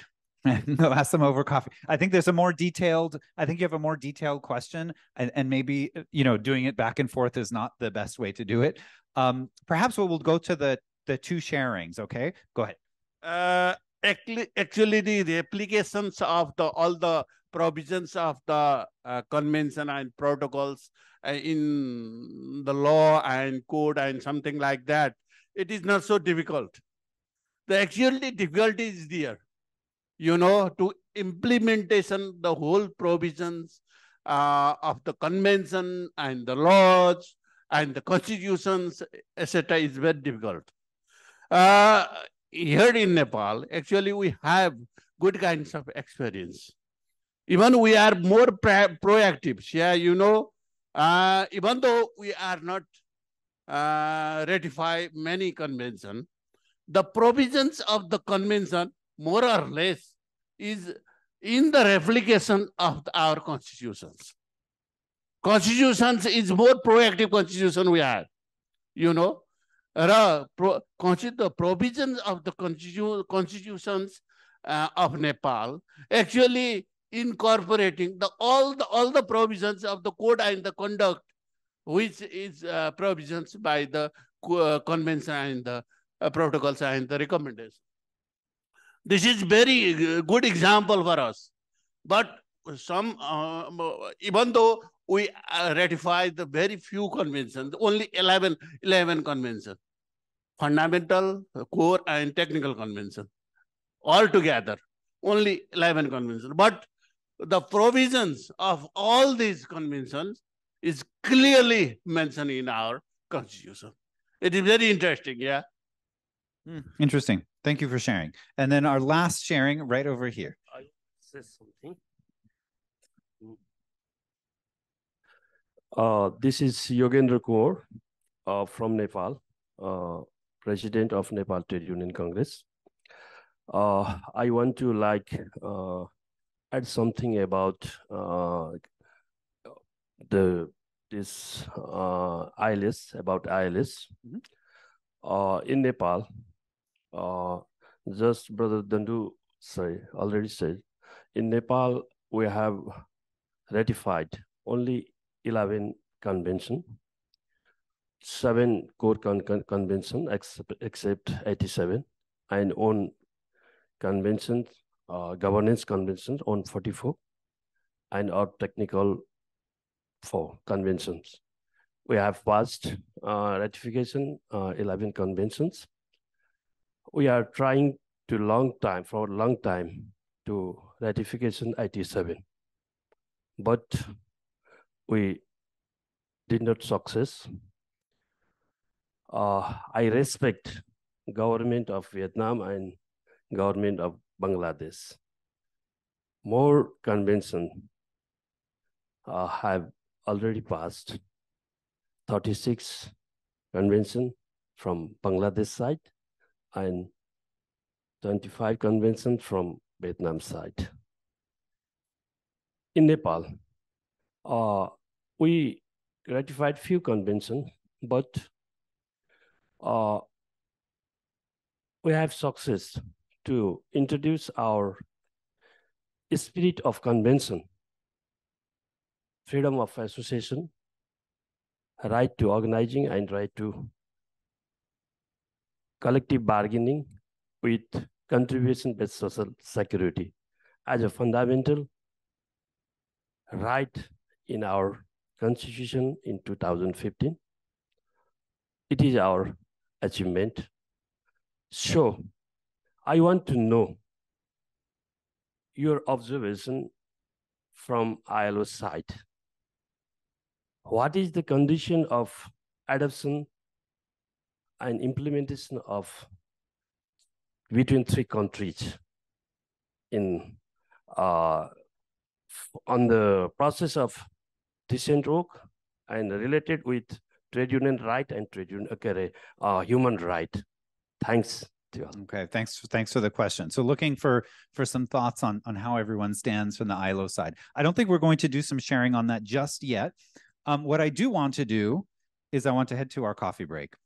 And uh, and and so I have, but I have something for you. I'm going to give you 20 minutes for coffee break. But uh, Bangladesh, you folks go talk to Vietnam. You have some detailed questions. Where, where's Tim? We rope Tim into this conversation as well. Uh, there you are. Uh, uh, so Tim can help out, kind of uh, uh, um, perhaps help translate between these two groups. Um, and then this is your opportunity to ask some of those detailed questions. Also, I think that there are some things that people are not going to say on the mic microphone, right? How did we get these political parties all, you know, working together? This is your opportunity to do that, right? So, so use the use the coffee break wisely. It's just outside, and like I said, we've got 20 minutes for it. So we are going to do uh, today. The structure of our session is we're going to do two sharings so we've just just finished the first one, right? The first one on normative strategies. The second one is on gender equality. And we're going to start with a presentation and then we're going to do the the country experience sharing. And just the one thing that uh, I, I, will uh, set maybe some expectations around is I, I know that we want to make space for everyone to be heard, but I do not think we can have all of the conversations in plenary Otherwise, this is a three day workshop, right? So we're going to have to have some smaller group conversations. I was very happy to see during the coffee break, I think there was some sharing between different countries. So fantastic, right? Because we will not be able to have all of the questions answered and all of the conversations right here um, in the plenary group. So we're going to move into uh, gender equality. And uh, we've got a presentation uh, from Joni uh, Simpson once again. And so you folks will recall uh, Joni Simpson from the online training. And Joni has uh, shared with us uh, some uh, recorded comments. Uh, Joni is the senior specialist on gender equality uh, and discrimination with the ILO Decent Work Team for East Asia um, here in Bangkok, but actually she's been pulled away to take part in a global uh, retreat. Um, so that's why she has left us with the video. So we're going to start with Joni, and then we're going to go into the country experience sharing like we did last time. So let's hear from Joni. This is Joni Simpson, and I'm showing you once again the uh, slide of our transformative agenda for gender equality, because these are really the underlying issues that that we've identified that need to be addressed in order for uh, gender equality to advance in the world of work.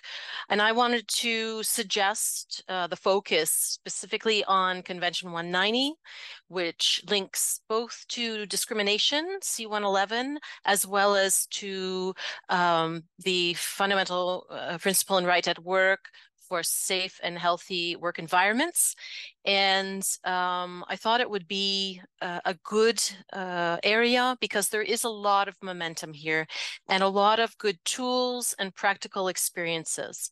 So, of course, there's the element of legislative reviews. Um, for example, recently Vietnam reviewed their law on sexual harassment and updated it. Um, there are a lot of other countries in the region also looking towards that. Then there are tools uh, in order to implement uh, law and uh, legislation that is there. Usually on sexual harassment, it's already in place. The aspect of uh, the the broad um, uh, scope that the uh, convention covers of violence and harassment at work is not necessarily yet part of uh, legislation, but sexual harassment is definitely, and uh, a lot eh, of um, reference to it as well in terms of global supply chains uh, and trade agreements. So there's an opportunity there. Uh, and then the third aspect, uh, uh, after the implementation of legislation like codes of conduct and guidelines or uh, standard operating procedures, um, or looking at um, sectoral agreements, collective bargaining clauses clauses on C190. A lot of this is emerging and available. There's a lot of resources being uh, developed at this time, and we've got a good capacity building um, uh, guide on the ILO platform, which I will share at the end of this uh, short presentation. And then finally, capacity building, um, all the training and elements that have that are, are, happening in terms of awareness raising, building up the uh, understanding, the common understanding, both at the national level in order to make ratifications move ahead and, and in order to advance legislation, but then at the sectoral level and linked to global supply chains, uh, look to highly feminized sectors. For example, well, the garment sector is a given. We've got a lot of experience there that you can draw from in countries uh, where better work is. You can um, exchange maybe scale some or, or, pilot and scale some of the good practices that you can uh, share across countries. Uh, other care sector is another highly feminized sector with a lot of uh, issues related to violence and harassment and um, occupational safety and health. So you might want to look there, and I'm sure you'll find uh, practices across countries uh, looking at uh, improving the working conditions of care workers, be they domestic workers, health and social care workers, child care workers, long-term worker uh, care workers. You can find the um, the entry points point and where you can make the biggest um, uh, impact. Agriculture is another area where there are a lot of women working and a lot of decent work deficits there as well. Violence and harassment at work could be a very um, good entry point. And then finally, I'd say tourism. A lot of the countries in in the region region have uh, vibrant tourism sectors, and um, tourism is, is an area that is fraught as well, especially for young women, with a lot of uh, issues um, eh, related to violence and harassment at work. So you've got a few sectors there: um, care, agriculture, tourism, then uh, looking to what each country has in terms of, of uh, ongoing work and experiences, either on specifically on sexual harassment or perhaps on the broader spectrum of violence and harassment. Uh, for example, uh, the better work tools and sectoral approaches, the standard operating procedures or guidelines, um, Vietnam did the tripartite code of conduct, very interesting because it helps to implement the legislation. It gets tripartite partners behind it, and then it cascades down with training and uh, tools, and they're doing that right now uh, towards an updated code of conduct. Um, in Malaysia, the uh, employers there, MEF, just uh, are rolling out a uh, guideline for handling grievances of violence and harassment at work that could be interesting to explore. And then I wanted to raise the issue of consultation because I heard that throughout your sessions uh, last week And in terms of what I've experienced myself under C190, I would say that uh, the Philippines has an interesting model because they've really done a broad um, approach to getting all, all, of society behind the understanding that violence and harassment at work is unacceptable uh, and um, is a violation of people's right to work free from violence and harassment. So you might want to look to them. Uh, last couple of points before I go and before you start talking. We're finalizing a a C190 brief, uh, a C190 being the Violence and Harassment Convention, and we'll be sharing it soon. And it talks about what what different countries are doing in terms of promoting it. And we're we're really almost there with regards to this brief, so we will be able to share share it with you shortly. And um, then last point is that many bilaterals, uh, not only the bilateral, the, the, the, governments involved in the trade agreements, um, but also bilaterals in terms of resource mobilization. Uh, many bilaterals have um, so-called feminist foreign policies right now. That's an opportunity for resource mobilization. Uh, Global Affairs Canada, where I'm from originally, uh, they have one. Uh, they also ratified C190 recently, so that's a that's also good. Um, the Australians, DFAT, Australia also just recently ratified C190, so that could be a, a nice connection for working in this area and um, mobilizing some resources from them. Sida, the Swedish uh, government, is also very much behind a feminist uh, foreign policy, although they haven't ratified. And um, I wish you a lot of success in these exciting uh, discussions you'll have, and um, I'll be looking forward to hearing about it. Thank you very much. Great. Thank Joni. So we're now going to do a little bit of country experience sharing. On this, we have uh, three people who will be sharing country experiences related to the gender uh, aspects of ILS. And we're going to start off with uh, Hansa, who's a senior expert with the Federation of Nepal Chambers of Commerce and Industry. So Hansa, if you'd like to uh, share, would you want the microphone or are you going to stand over there? Okay, great.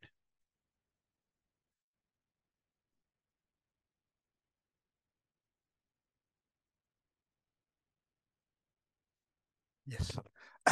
Thank you very much. Uh, it's a good, a very good uh, morning. Uh, my presentation, I will limit my presentation within the time frame, but maybe uh, will take some time. Yes, I represent uh, employees organization of Nepal. It's a Federation of Nepali Chambers of Commerce and Industry. Uh, FNCCI. FNCCI is the most representative uh, uh, business organization in Nepal. It has nationwide network. Uh, uh yeah. Uh, it has nationwide network, represents uh, business at national and international level and play a catalyst role to promote industry and economic growth in the country and deals with uh, various labor-related issues, including uh, the all social clauses and issues. Uh, yes, Nepal uh, LDC graduation. I have uh, its impact on trade and investment. Yes, it is uh, under the process and the preparation stage we are now from December 26, Nepal will graduate uh, in a developing country. Following the graduation, uh, Nepal will uh, face some challenges and issues that will affect in the international trade uh, and the labor standard as well as human rights. And uh, these uh, are the major issues. Assessment of possible implication of trade and investment is underway. Review of reformation and existing policy is on the focused area of Uh, uh, business association as well as of the government and the trade union as well. Uh, uh promotion of labor standard is at the forefront. Nepal has already ratified. It is already mentioned by our colleagues who spoke earlier. And now we are in the process of study uh, for uh, for ratify the convention. 81, 155, 87, 190 is currently under discussion and review process. Uh, activities, uh, now I would like to focus on the activities uh, uh activities that uh, FNCCI as the employees organization taking into uh, action uh, is the one of the activity is gender promotion of gender equality in the country. Gender equality is important and ensuring for the social justice and uh, uh, equal opportunity. It is linked with the labor standard as well as the labor rights. Gender equality, social inclusion, elimination of discrimination in employment, occupation are some of the key priorities areas where uh, FNCCI is working. And these are the the, uh, directly linked with the promotion of decent work environment in the country as well. Uh, FNCCI has been working closely uh, with uh, all uh, social partners, government and the trade unions as well. And we have given emphasis on the social dialogue. Through social dialogue, we have been implementing various uh, activities. One of the activities is gender equality. We have uh, promote a code of conduct uh, that is, uh, uh, a, this is in Nepali, but uh, English version we have to it. This is the code of conduct prepared for the industry in Nepal, that so that industry can adopt this code of conduct to promote the gender equality and to eliminate the sexual uh, harass, uh, harassment and violence at the workplace. Code of conduct mm, is uh, uh, designed with the objective of to facilitate the member companies uh, to uh, implement it and to promote the gender equality at the workplace.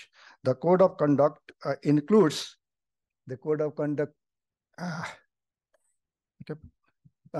the code of conduct uh, includes uh, its objective, why we uh, prepared this code of conduct and the definition of violence and harassment and the types, nature, and the gravity of the violence and harassment and uh, the individual and the manager's responsibility. The employee and the manager's responsibility is also mentioned there to respect the code of conduct. Also, there is the, the provision of mechanism uh, if someone uh, is victimized from the sexual harassment and the violation, the he or she can register complaint to the uh, uh company uh, company designated person, and also the company or enterprise has to take necessary action uh, to redress all the complaint. these are some of the major component of the code of conduct I do hope that this code of implementation of this code of conduct will be uh, helpful to uh, promote gender equality and uh, eliminate sexual harassment at the workplace. With this, I thank you very much. Well, it's great to know about this. So thanks so much, uh, Hansa, for for sharing. Uh, next, we're going to head over to Shakil in Bangladesh, who's the General Secretary with the Bangladesh uh, Labor Federation. Shakil, do you want to use this or here? Okay.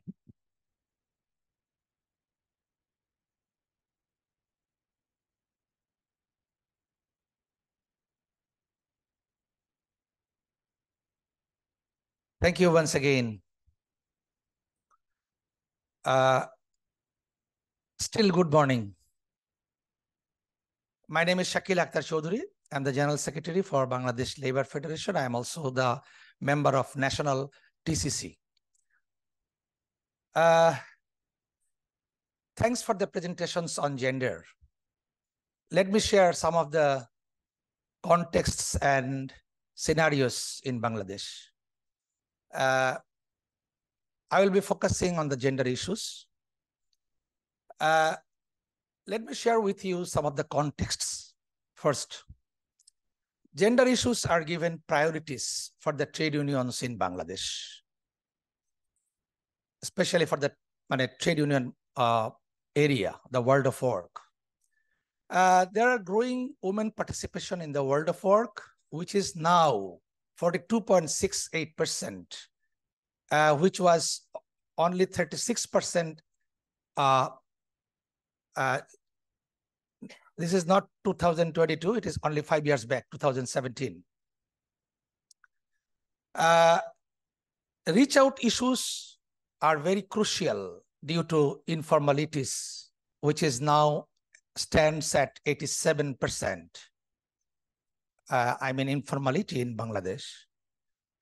Uh, there are some pressures from the inside the country and outside the country. Uh, the forces are now very active uh, for gender issues. And uh, in Bangladesh, there is a, a, question of mainstreaming the women's uh, in term of um, in terms of uh, mainstreaming, empowering the women's. Next slide, please. Let's let me share some of the possibilities. Uh, we have our constitution, which is really uh, positive for uh, uh, gender equality, etc. Uh, we have our national law, our labor law, and law on protection against women and children, anti-trafficking laws. These are, uh, uh, I will say that these are very good uh, context according to our law. Uh, we have our High Court verdict, uh, which was uh, de declared by the High Court 2010 to protect gender-based violence and harassments. we have our gender roadmap by DIFE, Department of Industries and Factories and Establishment. Uh, this is very much focused on GBV. Uh, uh, and then the operational strategy to prevent gender-based violence by Ministry of Labor and Employment. And uh, operational strategy to prevent gender-based violence. Okay. And then ILO roadmap and EU action plan, which is uh, a commitment by the government of Bangladesh, and that is being implemented for the last couple of years. Uh, we have our SDG, which is another commitment from the government that we have to achieve by 2030, uh, which is uh, I, uh, SDG uh, goal number five, number eight, and some other two. We have our anti-harassment committee at the factory level, according to our law. Uh, then gender responsive attitude from all the parties, especially I will say that the government, the employers, and the trade unions, the other development partners, the CSOs, all of them are very much positive on this. Next slide. the limitations and challenges, weak implementation of law. This is very, you know, crucial area. Then trade union inclusion is very poor. Informality, as I mentioned before, it is around 87%. And poor unionization rate lack of capacity, capacity of the trade unions, and I will say for all the implementation parties. And then lack of combined effort. I mean, tripartite plus. Uh, we need sort of, you know, uh, combined effort. Next slide, please. Uh, our efforts, what are the efforts that uh, are existing in the country? Campaign for mass awareness, lobby and advocacy to ratify C-189 and 190, raised and discussed the issue in the tripartite consultative committee, TCC, and submit a memorandum to the prime minister uh, to ratify C-190. Just last year, we have submitted a, a, memorandum to the prime minister. Raised voice to strengthen labor administration. Uh, trade union ILS committee, we have our committee comprising the mainstream trade union federations in the country to process and analyzing reports on gender issues and submitting reports to the government the ILO for last two years. Uh, trade unions are very much active on this, collaborating with national and international initiatives. I think the last slide, next. Yeah, and way forward, strengthen tripartite actions, capacity building, capacity building, especially for trade unions, and then continue mass campaign and networking at national, regional, and global level, strengthen social dialogue and collaborative uh, bargaining, collective bargaining, and then increase women inclusion and for mainstreaming, ensuring democratic practices at all levels, especially at the, from the factory level to the national level, uh, from policy to implementation. And I think that's all from my side. Thank you so much. Thank you so much. And then finally, we have Trier, uh, who is the Senior Program Officer, the Head of Program Unit at ILO in Bangkok. Do you have the remote control there? Yes, you do. Great. Sorry, uh, ILO Vietnam. It's not ILO Bangkok. Sorry. What did I say? oh, I'm so sorry. Yes, that, that you're right. yeah. Yeah. Thank you very much. Uh, I'm uh, as a member of the National Task Force on the uh, gender equality on behalf of the uh, task force, not only the ILO but national partner. I just give you the few uh, uh, highlights from the uh, gender link to development starting from Vietnam. So legal, uh, as you know, that's the legal framework for prevention of sexual harassment at workplace. I, the, the issue that I would like to, to share with you as the one part of the gender equality promotion and effort. And all of the uh, uh, reference uh, document is about the ILO International Labor Standard, uh, already mentioned, as an international commitment that Vietnam have to have to be uh, uh, committed.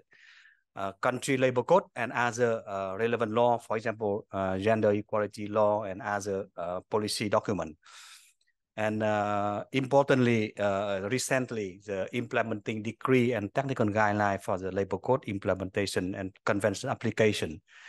And um, recently, uh, as you mentioned about the human rights due diligence, also mentioned about the gender equality and also sexual harassment prevention at workplace. And many of the other social audit tools that enterprise have to uh, follow and, and, and, and, and apply. And uh, um, uh, last but not least is enterprise work rule and uh, policy that uh, sexual harassment it should be the responsible of the enterprise to to uh, to to make sure that it's free and uh, and um, no sexual harassment at workplace. So um, uh, how's the legal framework in Vietnam? And the first time that the definition of the sexual harassment have been already included into the labor code.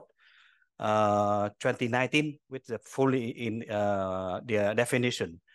Uh, for implementation, uh, uh, so far, the, as is, as mentioned, the National Task Force has already been uh, gathering and also conducting a number of important work related to the prevention of sexual harassment. First, revising the code of conduct. Code of conduct for prevention of sexual harassment is uh, signed by tripartite partner, government, employer, and worker, and we are revising it and submitting for the for for the uh, for the approval. Accordingly, the revise of the developing of the training material on how the sexual uh, harassment prevention at enterprise have to be uh, uh, implemented. Uh, the the material already piloted in the some enterprise and the finalizing material is being made um, number of the training you know, to for the enterprise for the worker representative organize uh, for worker representative or also have already conducted uh, and also the uh, uh, mm, uh, labor authority also trained on the monitoring of the sexual harassment prevention as a as an enterprise. And we are uh, and we are going to support also the MOLISA and partner to digitalize the material for easy up and wide access by the representative and also audience. So uh, support the inclusion of the uh, prevention sexual harassment in the factory enterprise worker rule and compliance. So it's important that uh, enterprise know about the responsible, their, their duty, and they make sure that the healthy and also uh, safety working environment for the worker. Uh, for the back to work for the government uh, sector, as uh, our Bangladesh uh, may, may know, we also trimming, yeah, it means mainstreaming the prevention sexual harassment in the training for both uh, worker and employer at the government industry. Promoting the collective bargaining and social dialogue among worker and employer for common understanding of the issue. it means that the, both of them have to understand about the issue and to have the common understanding and common effort to mainstreaming uh, uh, the uh, sexual harassment prevention in their work rule and implementation. Improving the labor dispute settlement as a support system. As you know that if sexual harassment uh, happen, then another system have to uh, support. And online technical support uh, for the enterprise because many enterprise do not have the capacity or time for for the technical. So the, the, the national task force set up the online uh, support for enterprise. In order to do that, the, the task force also agreed for promotion of the C190 of the ILO.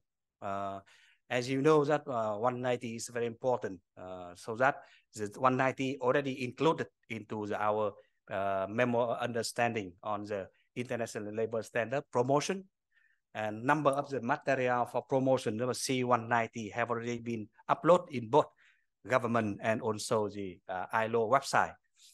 And uh, in, uh, importantly, the C190 are also uh, be aware and highlighted by the government and social partner for incorporating mainstreaming into their program and project.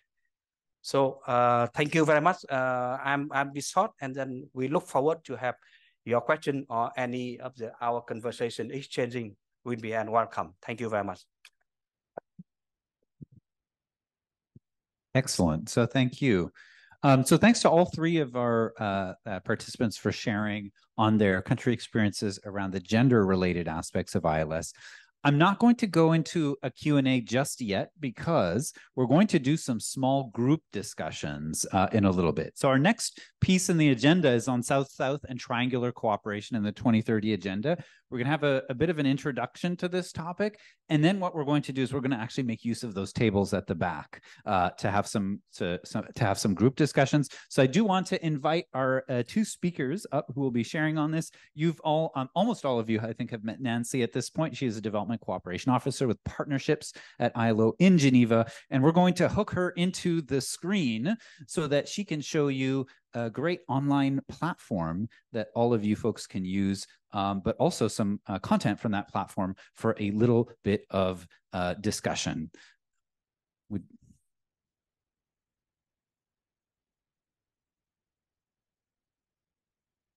Pass your microphone. Yeah.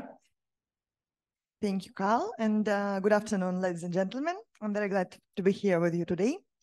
Uh, so let's uh, dive a little bit into what is South-South and Triangle Cooperation and uh, how it's uh, first with the, uh, the 2030 agenda. So as you may know, the ILO is committed to the promotion of uh, South-South and Triangle Cooperation, recognizing it as a key way to promote decent work for all. SSTC is also a strategic vehicle for promoting mutually benefic beneficial learning and cooperation in uh, support of 2030 agenda. Uh, as this SSTC divides into two modalities. First one is a South-South cooperation, which is uh, cooperation between directly two or more countries from Global South.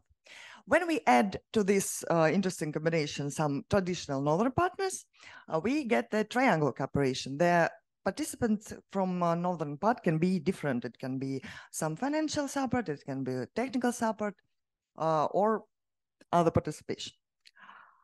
Uh, so when we are talking about global south, we should keep in mind that this is not about only geographical uh, belonging of the country, but it's mostly about the uh, developing countries and uh, least developed countries themselves.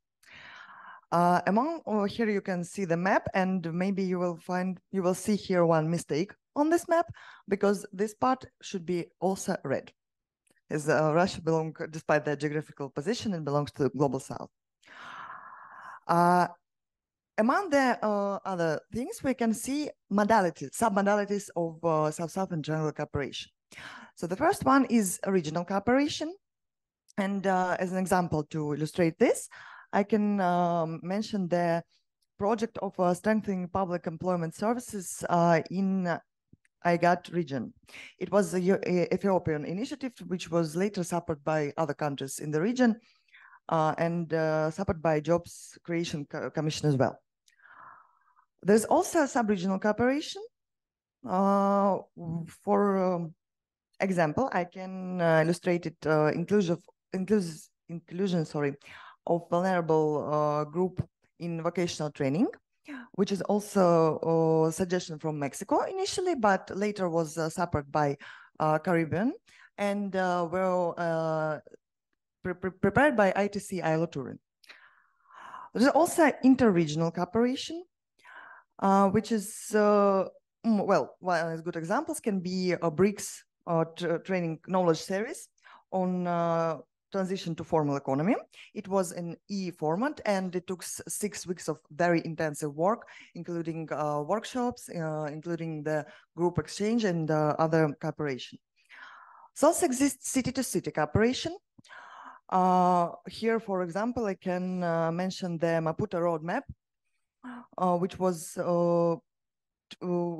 which was between Maputo, Belo Horizonte, Porto Alegre, and Durban for uh, local economies. There is a fragile to fragile cooperation. Uh, the good example of this will be cross-border trade in uh, Mano River Union, which was aimed on involving women and uh, in uh, trade economy. And cooperation among small island developing states. Well, here we have peer-to-peer -peer learning, uh, seminar, and just transition for Samoa. Uh, here is. Hmm?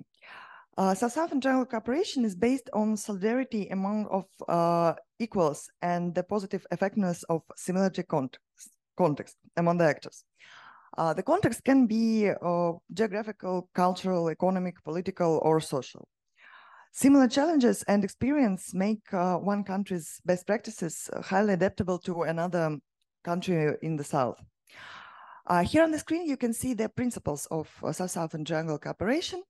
And uh, just a little historical note that uh, it was in 1978 in Buenos Aires was adopted uh, Buenos Aires Action Plan, BAPA, where these principles were listed. And in 2016, uh, global south countries re reaffirmed their commitment to these principles, which and adopt final documents and got uh, the name of BAPA plus 40, which we oftenly use for this. And now uh, I would love to check your knowledge. And here on the screen, you can see. Yes, so let's check how carefully you were listening to me. Um, so what type of cooperation will be cooperation among Latin American and Caribbean countries? Okay, let's let's connect. We'll check later. The next one, cooperation between members of the Andean community.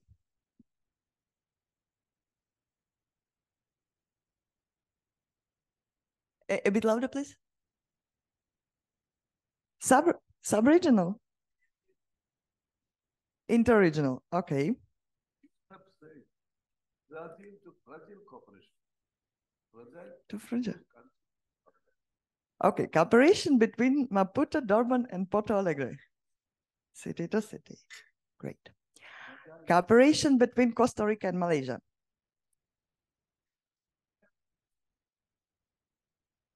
Interregional, so we replace. Okay. Cooperation between Haiti, Samoa, and East Timor. Small island. Cooperation between Sierra Leone and Somalia.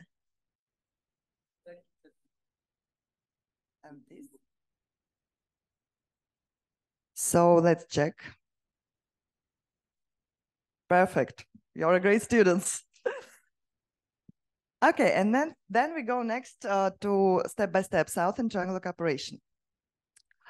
Uh, yes. Uh, SSTC is established by demand. That means that actor from the country from South identifies uh, for himself the need to find a solution to a specific challenge and propose cooperation to other actors from global South. Uh, here you can see the key players for ILO in this regard. This is a uh, important thing to mention that uh, in South-South General Cooperation, we avoid using the word donor because in this equal partnership, we're all developing partners.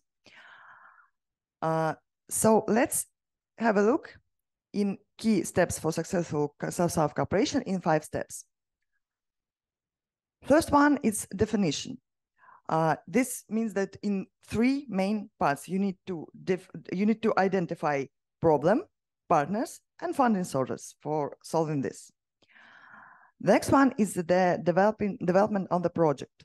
uh, designing project with uh, uh, with uh, including uh, this development uh, decent work country plan, uh, 2030 agenda, and other relevant documents for us. The next step will be implementation of the project. And here, well, I think one of the most important things here is uh, be, to be able to adapt because I believe we all still remember the thing when we had to learn to adapt very fast and it was just three years ago during the beginning of COVID-19. The first step is monitoring and evaluation and what is uh, important to remember in the process of um, South-South cooperation that this we need to avoid uh, typical North-South cooperation monitoring and evaluation process and need to concentrate on South-South. And last but not least, it's uh, knowledge and information management, uh, which this uh, can be described in dissemination of good practices and uh, further uh, giving them, readapting them. So a little bit more training for. So have participatory monitoring and evaluation process, yes or no?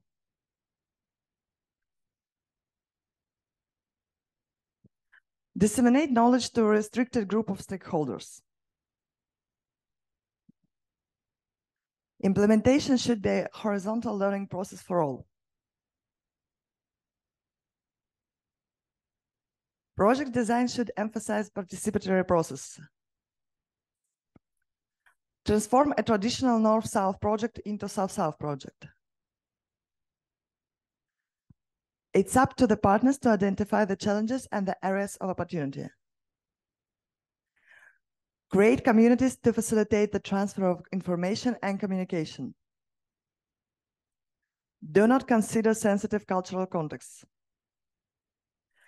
Make the evaluation with consultants who apply North-South approach. Hmm. Yes? No. Mm. Call the actors involved donors or recipients. No design the project without consultation with the constituents and other key actors. The inclusion of the tripartite partners is the utmost importance. Allow review during the course of the project. Call the actors involved partners for development. Perfect. I'm really proud of you. So uh, the SSTC enables the ILO to take advantage of their experience and knowledge of its constituents to answer the main question, how to promote decent work. Uh, ILO does it through capacity building, knowledge sharing, partnerships, networking, and knowledge platform. Oops, sorry. Uh, the favorite favorite picture of Carl. so ILO acts as a mediator, agent of systematization, dissemination of knowledge, alliance builder, and analyst of South-South and Jungle cooperation. Uh, for this, we you can this on the diagram, uh, different tools and um, mechanisms we use to promote South-South Jungle cooperation among one scholarships, training of trainers, and uh, you may see here in traditional workshops where we're glad to welcome you all today. Uh, also in this, I would like to show you one platform we are using for uh, promotion the South-South cooperation, what we do as ILO, where you can learn themes and find the relevant for you international labor standards and other interesting thematic topics you will be able to work with. Uh, and last but not least, it's opportunities for employers and uh, workers organizations. Uh, on the one hand, social partners from Global South can exchange with the peer learning from their many experience of uh, participation in elaboration of the United Nations Cooperation Framework for Sustainable Development and of Common Country Assessment. Uh, on the other hand, social partners can establish broader and uh, more effective South-South cooperation networks involving all actors mentioned in previous chapters, uh, who advocate for decent work and the 2030 agenda, like governments, NGOs, IFIs, and others. So this is in a nutshell all I would like to tell you today about the 2030 agenda and uh, getting back to Carl about Fantastic. our activity. Ta- um, Tanya, did you want to add a few comments?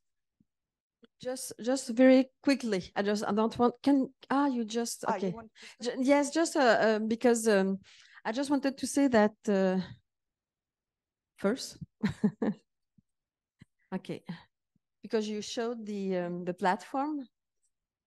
This one, I will go back to the. Uh, so that just to mention that this platform uh, is available to you.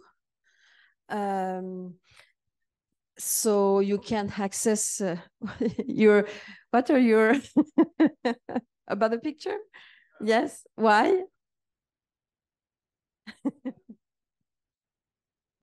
Okay i just wanted to know that to say that it's available so you have access uh, if you want to learn more as um, anastasia uh, mentioned.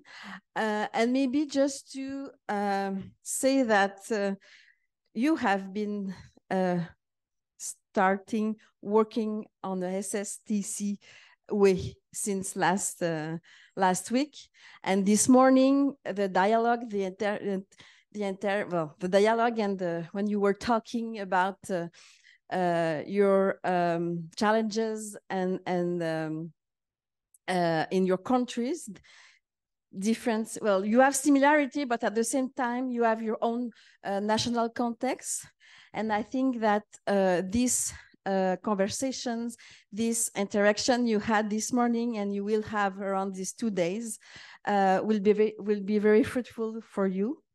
Uh, and uh, yes i just wanted to add this and to say that it was very interesting to listen to you this morning. It was it has been a while that since I have been in the in a tripartite uh, discussion like that, uh, and it was very interesting. So just to mention that. Brilliant. Thank you so much, Tanya. And um, Nancy, just before we head to the exercise that we're going to do in smaller groups, Yes. Uh, just before we head in, I, I had a I had a question, and I I'm, I'm bringing this question over from our online workshop. So in our online workshop, someone asked, "Can we submit our own good practices to the platform?" Yes, the answer, of course, is yes. Uh, moreover, I can uh, tell you that uh, every biennium with ILO is working in uh, biennium terms. So uh, every two years, we collect all good practices from uh, our SSTC projects, and we later publish them in on our site, the, the site we have shown you, our platform. Uh, you, we will of course share with you the link to the previous biennium good practices, and we have also form to to be filled in. And if you have to share something, please uh, share with us. And of course, it will be published uh, later when we will finalize and uh, and compose them all together. Okay, so that form is important for your country to become famous for its good practices. Great. Um, do you want to introduce us to the exercise we're going to do? Yes, Yes. Uh, and now let's uh, we a little bit more activity and practice. Uh, we have uh, SSTC activity which is called World Cafe. We have three tables, uh, so I suggest our us our team now divide into three groups, and it's preferable to be from all different from all three countries uh, at the one table, and we will uh, discuss a few questions, quite simple questions uh, like what experience you already have, how we can help each other, and uh, what we can do, what we can learn from each other. And uh, we will look at this from the South-South perspective, from ILC, ILS perspective, and from uh, national perspective. So with this, Tanya and uh, Carl will help me. Can I to- can I randomize the groups? So let's randomize the groups. First, I'm going to give everyone a number and then and then we can have this discussion. So one, two, three, one, two, three, one, two, three, one, two, three, one, two, three, one, two, three, one, two, three, one, two, three, one, two, three, one, two, three, one. No, you're not. No, two. There, there we go. So remember your number. Table one is going to be this table right here. Oh yeah, you folks back there. Uh, one, two, three. All right. So so this is going to be table one, this big table here. Table two is going to be this big table here. and table three is is this table here. Okay. Uh, so so tell us again what we need to do. We need to answer all together to the questions. Like, what do we have? These three questions. What experience do you have? What can you learn from other countries? What can you do together? Okay. And just a quick reminder, we will move as facilitators, me, Carl, and Tanya, we will move from table to table. You will have seven minutes to discuss before we change. Okay? Let's go. Table one here, table two here, table three here. If you need extra chairs, you can go grab them. And all my friends, sisters and brothers, I, I like to draw your attention, please. Uh, from group number one, uh, we were there from all three countries. So we have shared our experiences and some of the observations that I would like to share with all of you now. Uh, ILS, as far as concerned, uh, we have different experiences from different countries. Like our Bangladeshi experience is not as as well as Nepal. There are some differences. For example, Nepal has not ratified all ILO, basic ILO conventions. Uh, but the thing is, they have covered these ILO conventions in their law and constitution.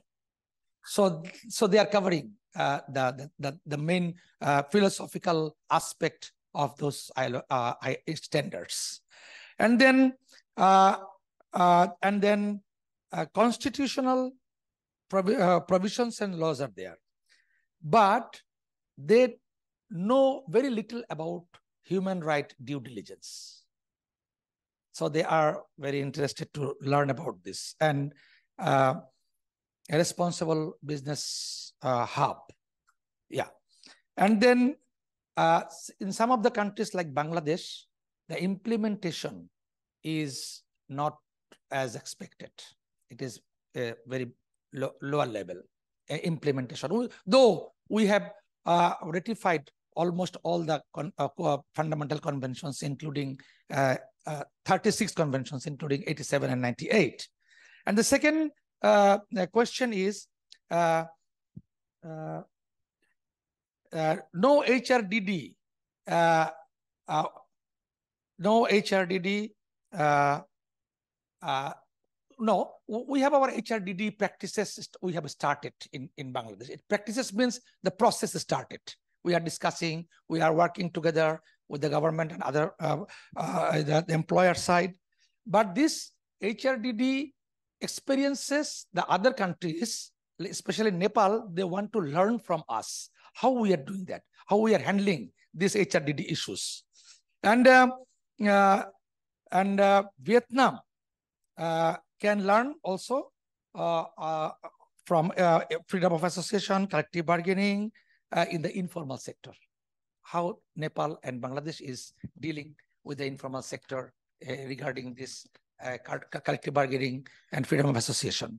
And number three is uh, what our suggestion. We need joint effort. We uh, propose for joint effort for awareness building on HRDD at all level. And then uh, technical support for uh, development uh, for development culture.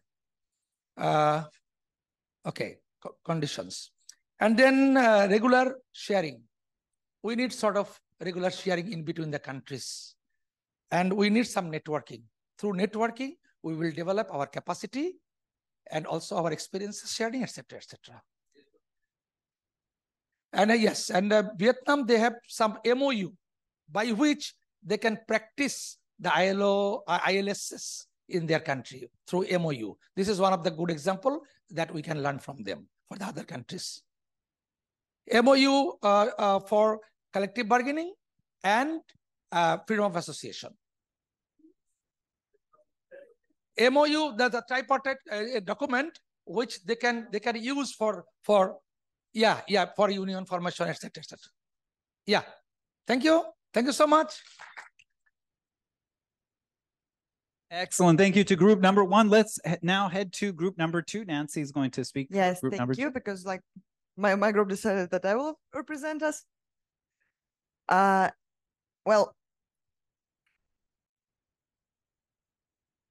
uh, we had very vivid discussions and uh, looking from the perspective of South-South and Triangular Cooperation, how we work together, how we can contribute together. Uh, and uh, well, that we have heard, you may see two pages of uh, different ideas. And um, I may confess that this was really interesting to hear. Uh, the main idea was that uh, in, in the framework of today's workshop, uh, Bangladesh and Nepal representatives are learning from Vietnam experience, learning from, because as uh, already graduated uh, from LDC uh, status. And we discussed that this we try, we should get as more as possible from this workshop, but not limited to. So the further cooperation is very important. We also can learn from Bangladesh uh, experience of uh, safety, uh, the workspace uh, to mention. And uh, we also mentioned that for the future, uh, it's very um, it's important to um, organize study tours in the framework, not again only not regional but also interregional to learn from not only from countries in uh, Asian Pacific region, but from some Americas or African countries. And we also we also uh, said that this is important to share not only uh, good practices, but also some bottlenecks, some problems we get, uh, difficulties, and which is also very important to share. We also we encourage you to share good practices with us but this is important to share not only with us as ILO but between each other uh, not limited to the country and to the region. Uh, and we also last but not least i would mention uh, what we discussed in uh, the framework that we should use different platforms for communication for cooperation all the possible. So it's great when I'll organize something for uh, tripartite constituents, but it's very also very good to use any uh, possible uh, option uh, as like as G20, United Nations, uh, International Financial Organizations, and others. Thank you, Carl. Over to you. Thank you. And then uh, last but not least, group three. Thank you. Uh, as you can see here, uh, in our table, we have discussed our, our experiences learning and uh, do things that we are going to like supposed to do together. Uh, as the uh, experiences are like no experiences are being shared, that means, and uh, do together things are like so many here, that means uh, it proves that SSTC is, is like really relevant and it should be continued in the future. So uh, regarding the learning sections, uh, Vietnam wants to learn how to ratify Convention number 87 because they have only one uh, trade union representatives in their country. And they also want to know how to handle and how to manage uh, the, labor market, labor situations where there are so many trade, uh, so many labor organizations. Uh, in this case, we have such kind of experiences. We have 19 trade union federations at the national levels. And in Nepal, they have formed one coordination committee, joint trade union uh, coordination committee, and uh, they collectively bargain with the government. So government deals with only JTUCC uh, regarding the labor's voice. That's uh, quite simple enough for the Vietnams. If you want to learn more, you can uh, visit the website for the JTUCC of Nepal. Uh, regarding Nepal wants to learn about the tribunals uh, to settle the collective bargaining disputes so if you have any uh, experiences regarding the tribunals, as we have discussed in our online sessions also, so if you have any good practices and uh, uh, any experiences regarding the tribunals, uh, please kindly share it to the forum. And Bangladesh uh, wants to know more about uh, tripartite TCC. they wants to know more who who has it and learn the legal framework for the C190 Convention number 190. And Bangladesh and Nepal, they jointly want to know more about the trade unions and uh, and their like uh, roles in the informal and the uh, domestic sectors. Uh, I think I have shown the time card. One one minute left. I will uh, move to do together things. There are so many things uh, to do together. we have like just Nepal just implemented the National Action Plan on Formalization we have many things to share and uh, on that action plan, we are trying to uh, establish a regional network for formalization. So this forum maybe the, this SSTC will definitely help uh, in that regard. So there are so many things to do together. Like we can make a forum uh, and we can work together. Uh, with this, I will stop here. Thank you so much. Fantastic. Let's give him a hand.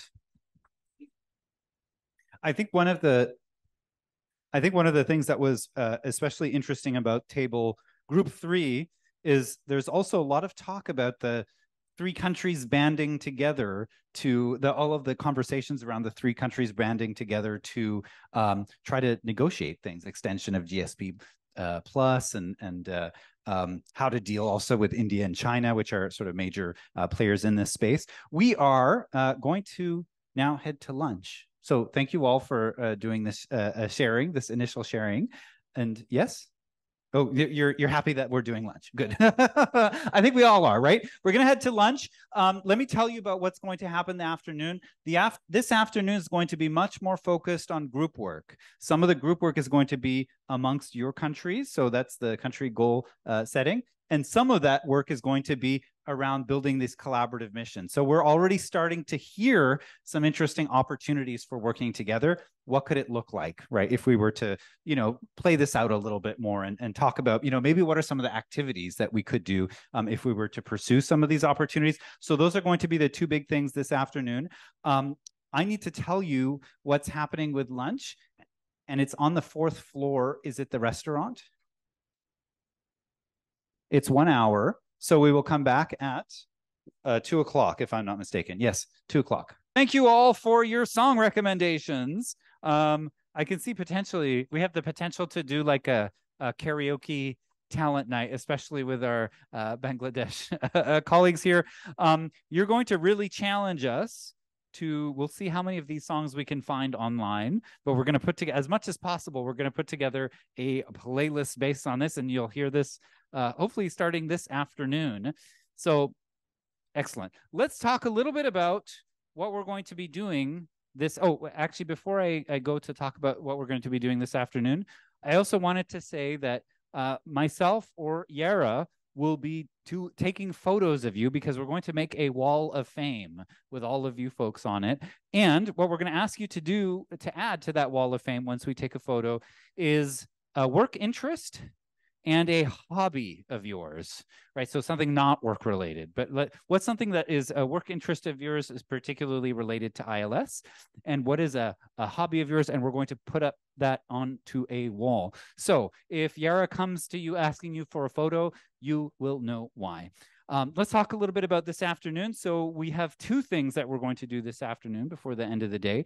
One is we're going to do a little bit of country goal setting. So we've talked a lot about different areas that are of interest for the different countries. Now, on your tables, on each of your tables, there is a canvas that is going to be a structured way for us to identify what are some of the areas that you are most interested in uh, making progress in right so so to pull to identify some of those i'm going to uh, talk a little bit about how we're going to do that and then we're going to look we're going to have a new poster and it will it will provide us a structured approach to develop our missions our collaborative missions right? So how, what are some of the different areas in which we might work together and what we might do how we might work together um, in each of those areas? So that's that's where we're going to go. Um, before we go into the country goal setting i want to share seven different opportunities for collaboration that have come up right? Because this could potentially influence some of the goals that that you have or at least you know shape some of your thinking around the goals that you have each of these seven opportunities is something that we heard from multiple countries uh, during the course of the consultations that we did, as well as the uh, uh, workshop uh, that we did. Okay, so let's take a look at the seven of them. The first one is experience sharing on establishing labor dispute resolution mechanisms. Uh, I think in, in the workshop, we heard, you know, Nepal's interest on tribunals uh, and that there were some possibilities of uh, exchanges around that. That's number one. Number two, formalizing the informal economy and integrating international labor standards. Number three, improving conditions in the garment sector and specifically with a focus on attracting greater uh, trade and investment. Number four, promoting labor migration protections, all three countries uh, in different ways. Number five, leveraging ILS to increase market access and investment more generally. So, so what are some things that we can learn about better um, accessing uh, markets, especially related to GSP plus? Uh, number six is uh, increasing gender equality through ILS. And number seven is labor law reform and legislative compliance with ILO conventions. Uh, there might be more, right? There are probably more, but these were seven that we heard over the course of the conversations that we had leading up to today's workshop. Uh, I think this workshop we've already have added maybe a, a, few things in there, but I just wanted to share this with you because it can help maybe uh, sort some of your thinking about what are some of the areas that each of your countries right might want to focus on as we do the activities uh, later this afternoon. Any questions or comments about this? You get to choose, right? What you what you want to do. Uh, yes. Uh, I have one wonder. That is, uh, while talking about gender, we had a session but no discussion, and participation is also very poor, and here is also missing that thing, and uh, two, two, two agenda, actually. One is a structured uh, gender pay gap. In my country, those positions who, uh, which are less paid are made for women, only women. Gender pay gap is not there, but there are some low paid positions in which only women are uh, kept. And uh, maybe same in other parts also. And I'm wondering, this is first wonder. Second wonder, uh, our women participants are keeping silent here. Why this happens? Are we leaving that agenda from this SSTC? It's my question, big question. Okay. So, so two things to to think on. Yes. Actually, here are a lot of a lot of areas of the uh the considering uh, yeah considering issues and these are the seven area but beyond that i think most important ways it's occupational safety and health it is most important and we should consider in this year also occupational safety yeah okay that's a good one any anything our um, anything our women participants want to add to the conversation No. Okay, thank you. Actually, uh, I I expected that there might be any suggestion how this in this region the living wage is being ensured, but uh, I don't uh, find any suggestion from this. Did you? Is there any missing point? Thank you. Living wage, living minimum wage, living minimum wage. Thank you. Yes, thank you. I'm going to just uh, uh, write these down. But so we've got we've got OSH, OSH, and we've got living wage, minimum wage. I, I think that that has come up, but it has come up primarily in the context of formalization. I've, I've heard it in the context of formalization in the previous conversations. Anything anyone else wants to add?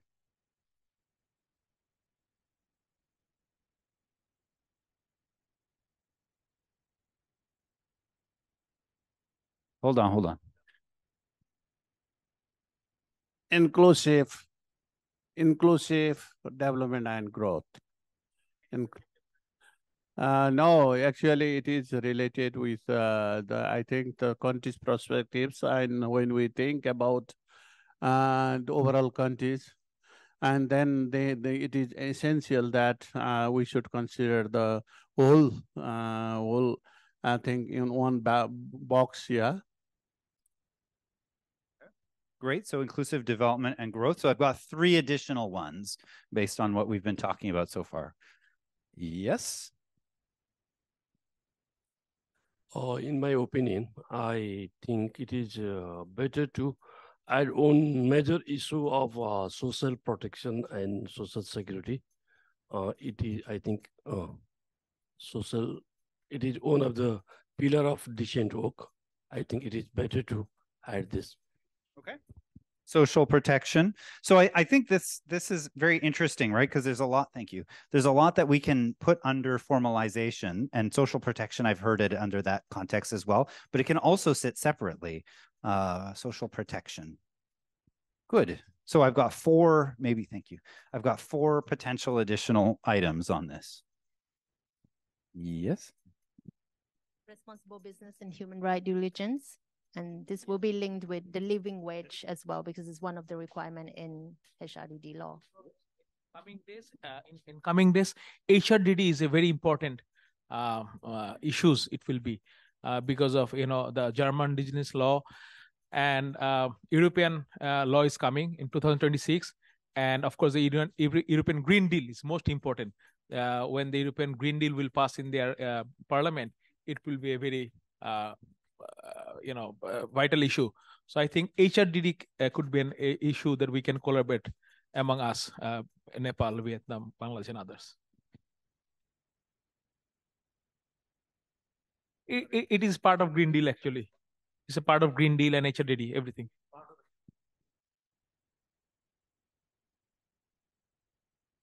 Okay. Thanks. Is that was that a hand? No, oh, right over here. Yes. Uh, I like to uh, include another one that is uh, responsible business and uh, protecting human rights uh, of the workers.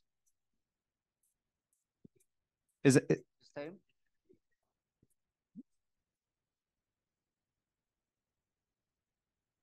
All right, so we've got agreement. This is good. Uh, I, I had another hand here. Was this separate? Yeah, okay. I'll come to you folks. I'll come to you folks.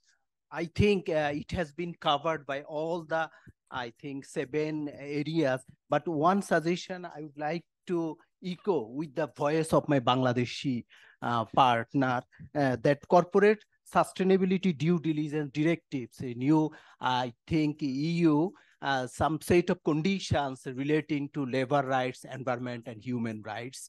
And also, there are in their uh, 32 convention, there are also issues of these uh, due, uh, due diligence issues. Uh, so uh, this should come in a separate, I think, uh, heading so that it is specifically discussed with great focus because we are all the I think uh, graduating LDCs are also uh, uh, uh, having some sorts of challenges in meeting their standards, these standards. And another issue that I would like to add here that after graduation, yes, we are going to have some FTAs, uh, free trade agreements, uh, preferential trade agreements with our different key trading partners. So while engaging in negotiation, because new generation FTA uh, requires some labor standards, human rights, due diligence, all these issues will have to cover. How uh, among us, uh, I think Vietnam has a very vast experiences of having such type of negotiation because the standard of the developed countries in terms of labor, uh, human rights issues is uh, far different, far better than the uh, developing South. So how can we cope up with their requirements and what strategies and uh, I think uh, we should take uh, to actually comply with their expectations. These issues should come up in this discussion. Another issues is gender issues that uh, in our countries, especially uh, the uh, Nepal, Bangladesh, we have proximity, cultural proximity, natural proximity. And so uh, I, I don't know about the Vietnam. So our women, uh, our, our women, they contribute lots in family war, domestic war, rearing children, and also uh, adding nutrition and value to the families. But their, their contribution remain unpaid and unrecognized in our national accounting system. How uh, this can be brought up in the greater ILO agenda so that uh, their contribution even not recognized, but uh, to the national accounting system, to the GDP and to the uh, international growth system, how it can be, I think, linked. So these issues. Thank you. Very good, thank you. And I've got a few last hands over here. Just very brief, two points are there we can consider.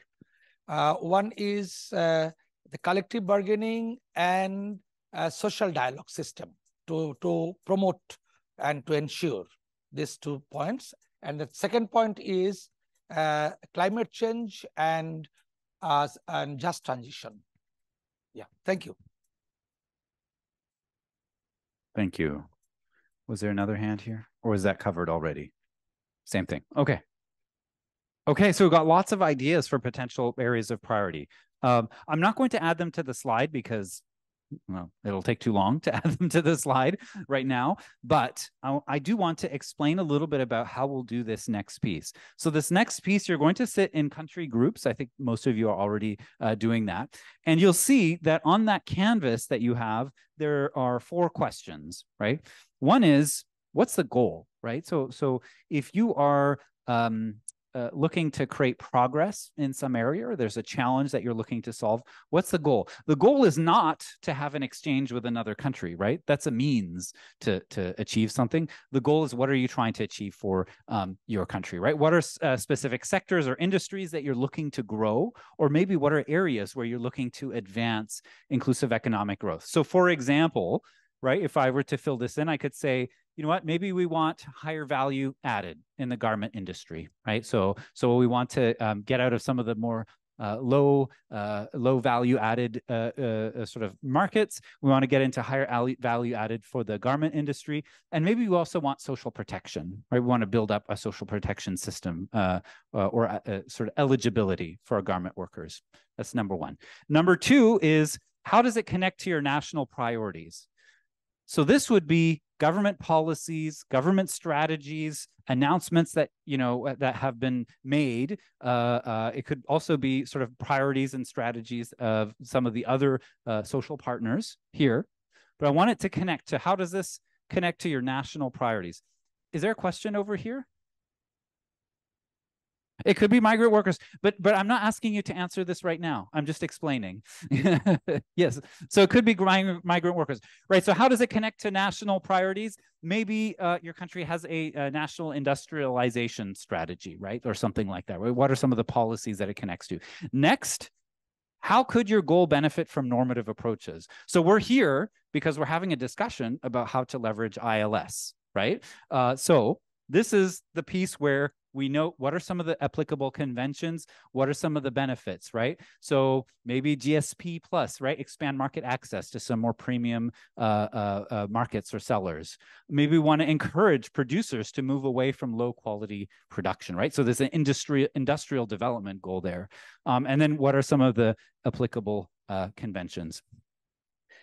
And then lastly is what is challenging or what is needed and the reason I put this up is because if you're going to find places to work with other countries, then there are probably questions, things that you want to learn from those other countries, or things that you would want to do potentially collaboratively with those other countries, right? So, so what? So, um, here, right, I could say, well, you know, we want to learn more about approaches to formalizing the garment industry. Is there work that's already happening? Can we learn from other countries about these approaches? What are good practices for social protection systems uh, for semi-formalized work, right? Is anyone doing some interesting work in this area that we could learn from? What I have written here is an example, right? Just to help you kind of understand how you could add to this. Uh, and now that I've explained the example, I can take questions. Yes. So right over here would like to add, add some point here. What kind of point? Tell me. The, uh, please. Yeah? Uh, automation, robotization, and uh, artificial intelligence, and migration and RMG sector. The, this should be their priority. RMG. The, ah, ah, yes. Automation. Automation is a very important issue because large number of workers, large number of people are losing job due to uh, automation my, uh, and artificial intelligence migration. Uh, sorry, uh, robotization. Uh, hmm. So, so this is very interesting because, yeah, fourth industrial revolution. Yes. So, so this is very interesting, right? Because the comment here is we don't just need to think about the situation right now. We need to think about the automation, the robotization, the introduction of Chat GPT and other things, how are those going to affect our workers over the next five years, right? So this is also maybe an area for us to be exploring. To it will all affect every country here, right? That that's one certainty. We just don't know how exactly it will affect the countries. So so great, uh, great suggestion and something for us to think about. Were there any questions about this framework? Because we're going to start some discussion. Now we're going to move into group discussions and you'll see, you'll see on it, I'm just going to borrow yours. You'll see on it, there are three rows, right? So you've got space to identify three kind of priority. You won't be able to work on all of your priorities during the workshop, sorry. Um, but you've got space for three priorities that, that you can identify uh, as a group.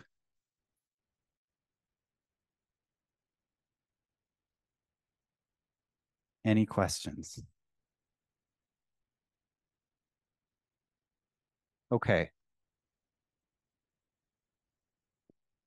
So I'm going to give you folks about um, I'm going to give you folks about 40 minutes. Yeah, we'll give you about 40 minutes as a group. Fill this out. Up to three. You can have less than three if you want, but up to three uh, priority areas. And then we're going to do a little bit of sharing after that. Okay. Okay, here we are. So uh, Nancy mentioned that uh, uh, I love this slide. I'm going to come back to it in a moment. But before that, what I want to do is I want to invite Tanya up to tell us a little bit about. Tanya had a look at, Tanya and Nancy actually had a look at the goals that you had. And uh, she has put some thinking into what are some possible groupings that could happen. And so, as Tanya tells you about these groupings, I want you to think about which one you would like to work on first. You'll have the op option to work on two of them, right? But which of these groups would you want to work on first? That'll be the one that we'll work on today, and then we'll do another one tomorrow. So have a have a listen to uh, kind of how Tanya has thought about where the overlaps might be between your goals, and then think about which one you would like to start with today. Thank you, Carl.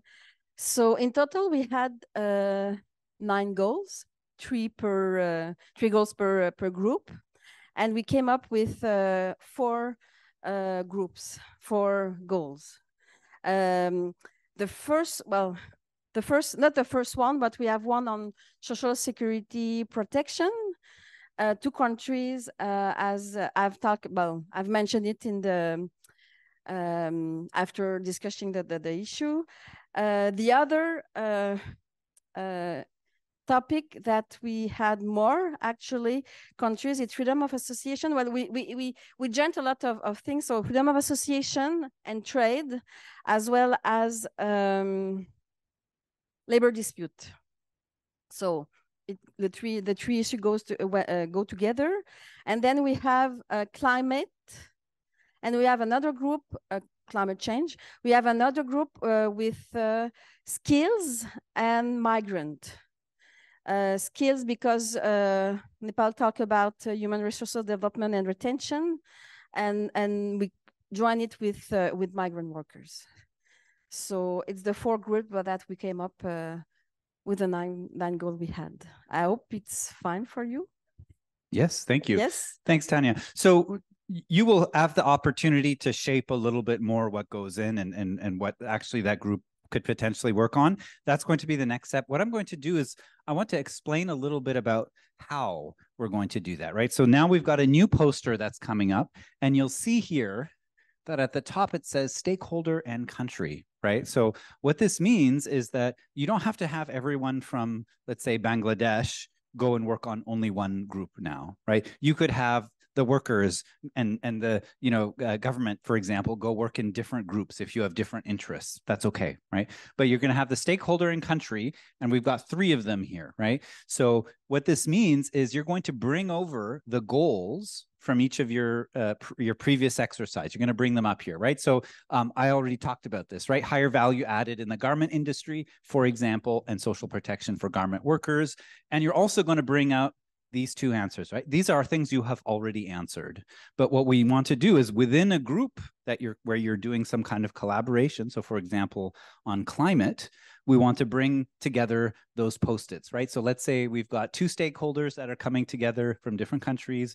One of them is looking at social protection, the other one is looking at formalizing the informal garment industry. Great. This is all things that you've already answered. But the next piece is we already have what is challenging, what is needed. What could we do together, right? This is going to be a brainstorm where your group is going to think about we're both looking to achieve these similar goals is there something we could do together? What is the overlap between the interests? What kinds of collaborations could we potentially pursue together? So, for example, here, um, maybe this group said we want to do joint research and policy exchanges on formalization and social protection, right? So we want to do some research together to look at what are some of the approaches out there, right?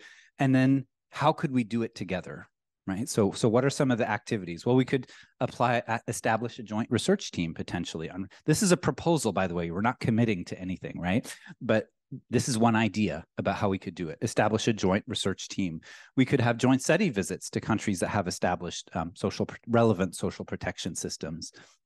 And then the last piece, which is here, is how could each country contribute to that collaboration, right? So are there, you know, um, in the online training, for example, we heard from Vietnam had already conducted some research on tribunals, right? Fantastic. Um, that's something that you can already contribute to a, a, collaboration on that topic. So this is the poster that you're going to put together, and you can see there's there's three columns. So you have three potential uh, stakeholders that can come together to to look at a collaboration. It doesn't have to be three; it could be two, right? You can have a collaboration between two people just as much as you can have three, maybe even more, right? Let's say you have more, let us know. We'll, we'll get you a second uh, uh, uh, poster, right? So we're going to assemble this. And I just wanted to share, I want to come back to this because this slide contains how you can collaborate, all of the different ideas. We printed this out, so you, you can take a photo of it, but there's also a copy of this on each of your tables. And Nancy, I've expanded a little, I liked your slide so much. I expanded on it a little bit. So um, obviously, you know, capacity building, you've got scholarship, you can have a training of the trainers, assigning experts on different areas, um, exchanging experiences and best practices. You could share research findings, kind of like what uh, Vietnam was proposing. Uh, establishment of partnerships and mobilization, uh, sorry, partnerships and alliances. You have joint resource mobilization. So Joni this morning was talking about uh, how a number of countries have feminist foreign policies and they're looking to invest in these spaces, right? Maybe this is an area we could do joint resource mobilization, apprenticeships, joint research for policy development, establishment of standards. Maybe we're looking at what are some common standards that we can do, regional agreements, joint development of portals and platforms. Maybe we're sharing information or we're doing, you know, we're building something together, right? Um, and then lastly, creation and strengthening of networks and platforms. So you have international workshops and platforms like and forums like this one, which is going to be a platform, communities of practice, maybe even establishing a joint center of excellence, right? That is doing uh, work in these spaces. So these are all just ideas, right, of how you can do joint something jointly or together or do some kind of exchange. So this is printed and it's on each of your tables uh, uh, as you do this, right? So I've shared I, have shared this framework here. No, we're not there yet. And I want to just ask if anyone has any questions about the framework so far. Or anything you're curious about or you're wondering about on the framework. This framework will help different groups come together and find what are the areas where they could work, to, how they could work together.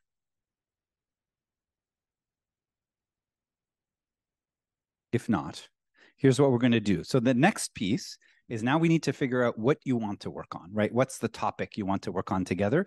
So Tanya mentioned uh, four areas, right, Tanya? Um, and depending on which of these areas you're interested in, you're going to come over to a section of the room, right? So uh, we've got one group here on climate. So if you're interested in climate, come over here. If you are, you can stay for now. I'll read them all and then you can decide where to go, right?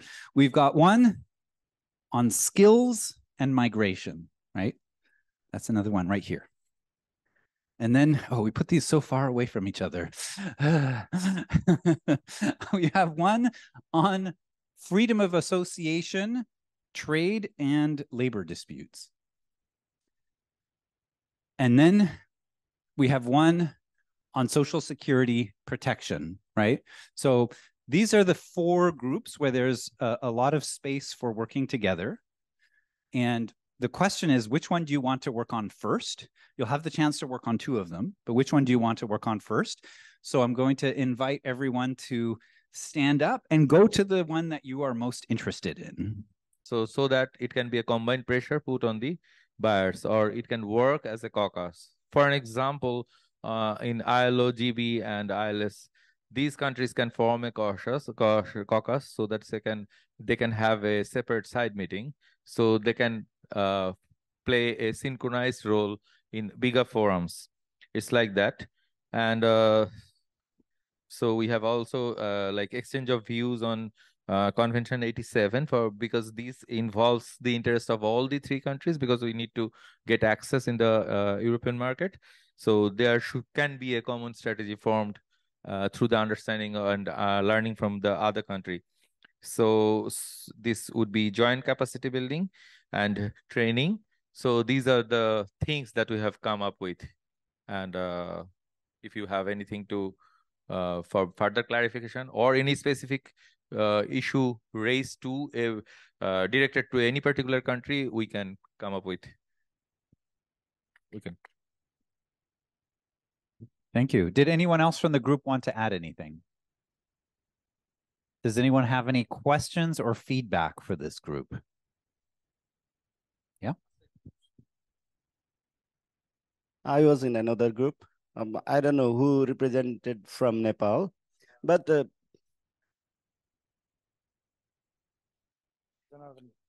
Okay. Uh, it's okay because I was uh, missing trade union representation from my country. Because uh, when we talk about freedom of association, that is not enterprises association. It, these are workers associations freedom. And in that, if we can uh, work together better, then we all can be benefited. We have many more agenda on freedom of association in this part. Like multi-unionism is there. Some countries have national level uh, centers to dialogue with government. Uh, collective bargaining centers are in national level, like Nepal. We, we decide minimum wage and different standards in the national level. But some countries may not have that type of things and only in the enterprises level. So that type of experiences, multi-unionism is there is freedom of associations, but that practice in Nepal we are doing is somehow it is threatening uh, the rights uh, with that rights itself. For example, we have maybe I take long. A very typical example we have. Uh, we have JTUCC that is uh, National Center of Trade Unions. We, we have nine or 10 members there.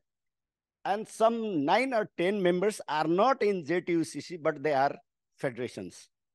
My uh, friend was saying 20 or 19 altogether. 19.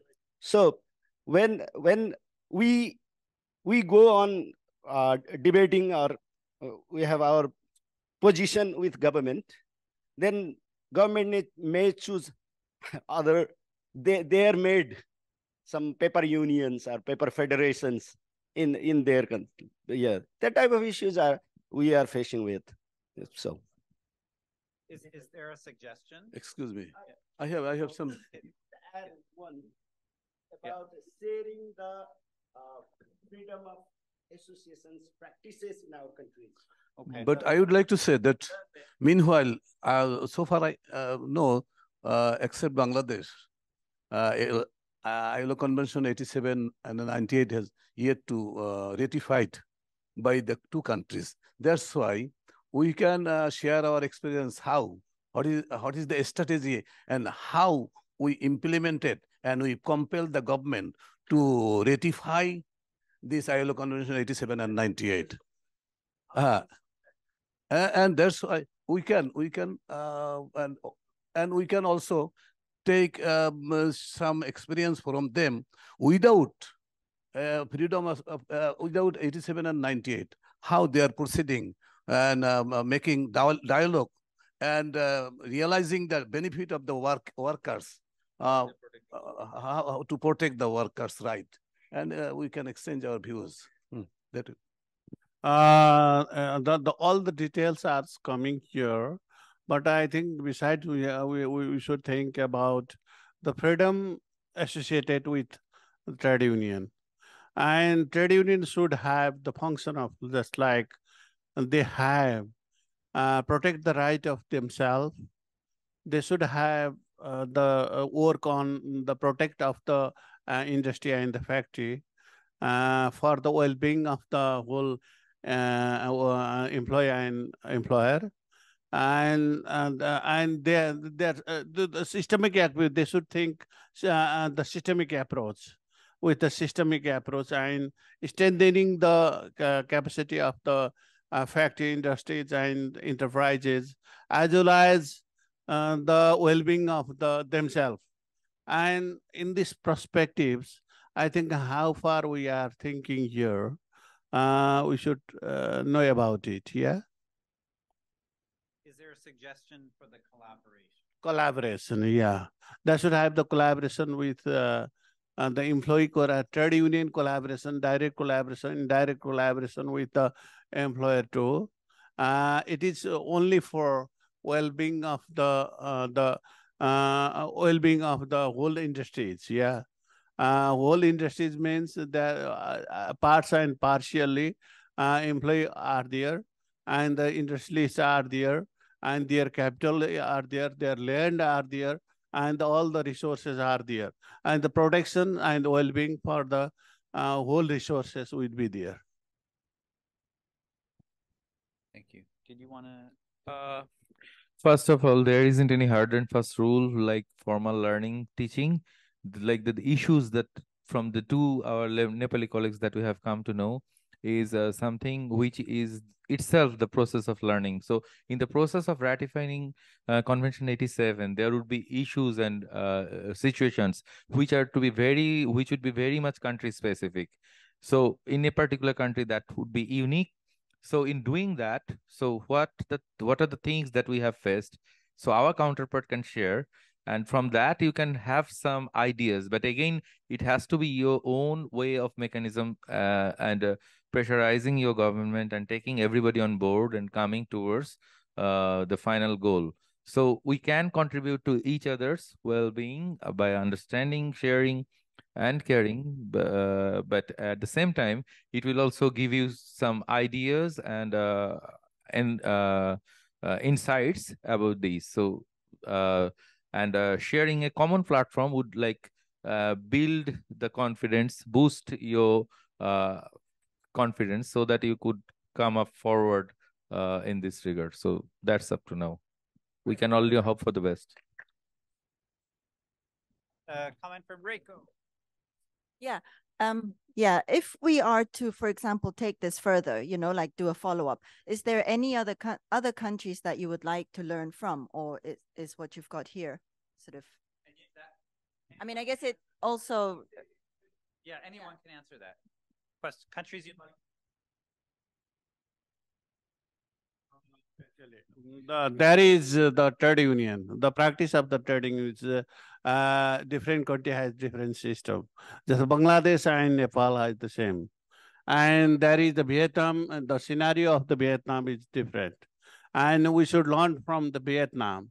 And we should learn, uh, Vietnam also should learn from uh, the Bangladesh and Nepal.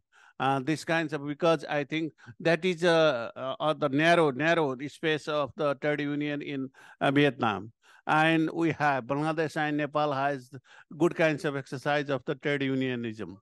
Uh, more, uh, yeah, more than good, I think, uh, because of I think some kinds of uh, some kinds of inability or so, inability or so, and some kinds of cartelling or so, some kinds of syndicate type of uh, things also they are prevailing in Nepal and uh, Bangladesh. Yeah, and that's why in between we should have all kinds of solution we can we can source search for. Yeah. for an example, not as a presenter, just as a country. So we have seen and identified, like in terms of insurance, we have some seen some good examples in Indonesia. So in terms of uh, trade union registration and simplification of the process, we have seen some good examples in Malaysia. So it's not about like um, what I should say. So keeping the options open. So whenever there is a good practice in any part of the globe, that can be shared and that can be shared through a third country as well. So it is a only matter of learning about something and adopting that in our country in our contextual way. So that's the thing. Last comment. I would like to say we have gathered uh, uh, tripartite uh, co committee like, uh, like uh, management, government, and employer and trade union. But I would like to say not only three countries, what you have told right now, that Another other, other countries should be incorporated to share, to, ex, uh, to exchange our views and experiences so that we can boost up our knowledge. That's, uh, that's, that's why I think, I think the India and other, uh, uh, uh, uh, Indonesia, Malaysia uh, should be incorporated with our um, this, type of in the boat. We, they should brought in the boat. Yeah. I think. Okay. All right, folks. Let's head over to our next group. We are going over to skills and migration, which is also a group that all three. I keep tripping over that too. Um, that is a group that all three countries are participating in. So come and join us on skills and migration. Who will be sharing for skills and migration? Huh, very good. Let me let me just wait for the group to come together.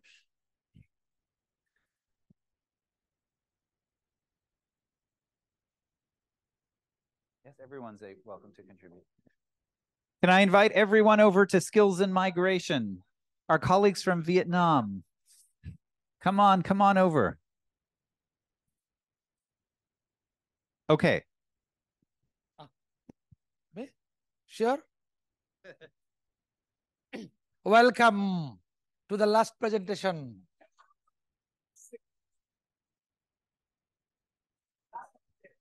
So, no shopping, no contribution to the Thailand economy. Uh, okay, okay. Uh, welcome uh, from this group.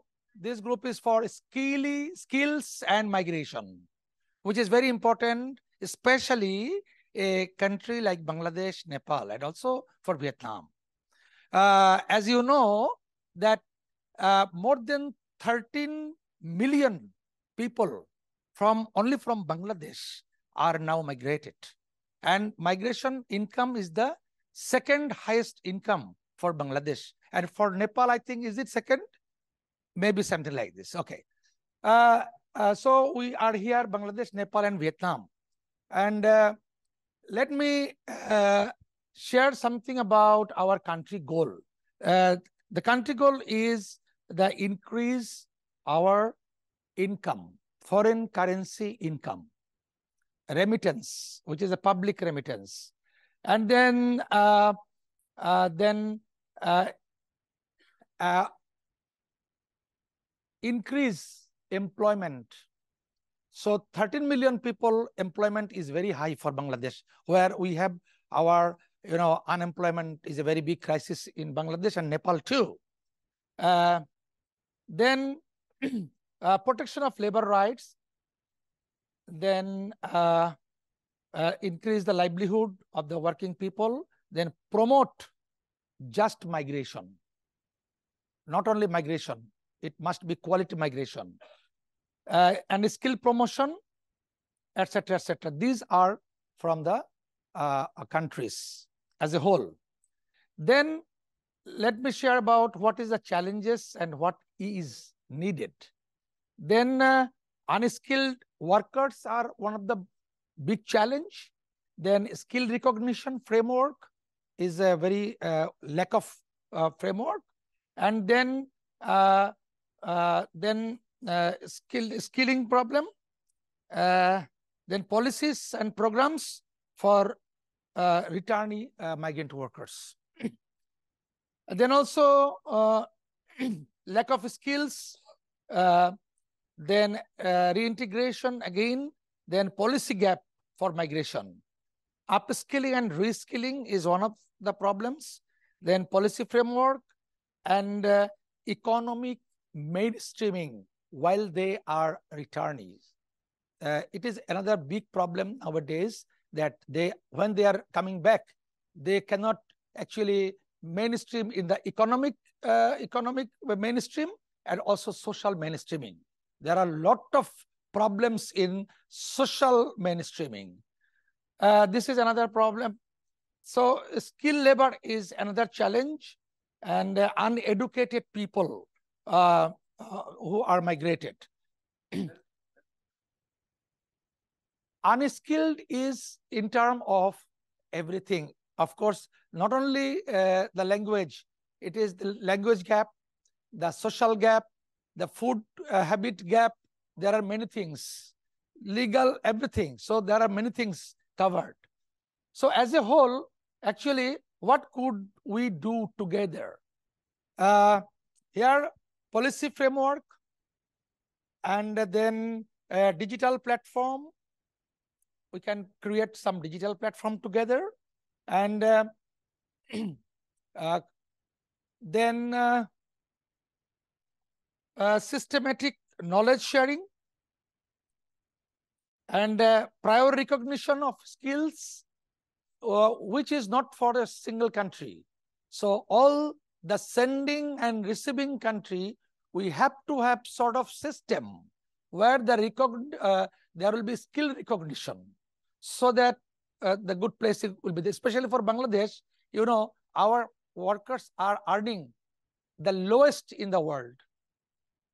Even, even uh, we, if we can increase our income average, it will uh, contribute a lot in our economy. and then how could we do together? Uh, establishing a digital platform. It will be accessible for all the countries, all the all the migrant workers, especially also, the potential workers, not only the workers, also the potential workers, so that they can also share, they can also get some information, etc., etc. Uh, they can get information even for the uh, uh, uh receiving countries, uh, their laws, their systems, their employment, everything, and then digital platform. Then, oh, another sorry Oh, sorry, sorry, sorry. Capacity building. Capacity building is for the uh, trade unions, for the other uh, civil society organizations who are also the players. And I will say that also from the government side, they need also sort of, you know, uh, capacity building to address this very crucial issue. This issue is not only in the sending country. This is also, we have our our, for example, our uh, embassies, our diplomatic, uh, you know, points in the destination country where they can also contribute if they have much capacity. So this is one of the area that we can also think for together. And then, uh, uh then uh, uh, recognition system, yeah. Consular service, I mentioned already, because this is another problem. I was visiting Qatar last uh, six, seven months before. So I saw there the consular service is not really up to the mark. Even Bangladesh case is even worse than the other countries. As I have seen, I'm, I, I, have, I have to admit this. So we can also in, uh, increase our capacity even in the destination country, our consular services. And uh, then database. Database means uh, the, the, the, the workers, those who are living country and also coming back. So all the returnees and the uh, and the migrant workers, they should have some sort of, they should be included in the database where we will find their uh, whereabouts and everything. Their skills, their ages, their uh, you know gender, everything should be can be covered uh, in this database.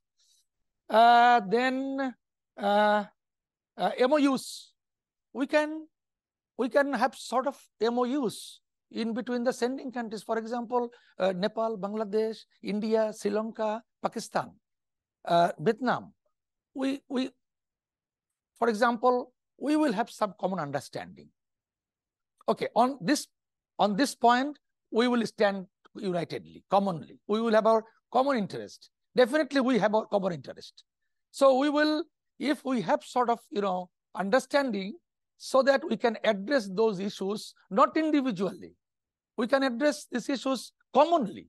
Even I know, I saw in Qatar, uh, the GEFONT, they have their, uh, you know, uh, they have their people who is working uh, on, on migration issues. But I don't have.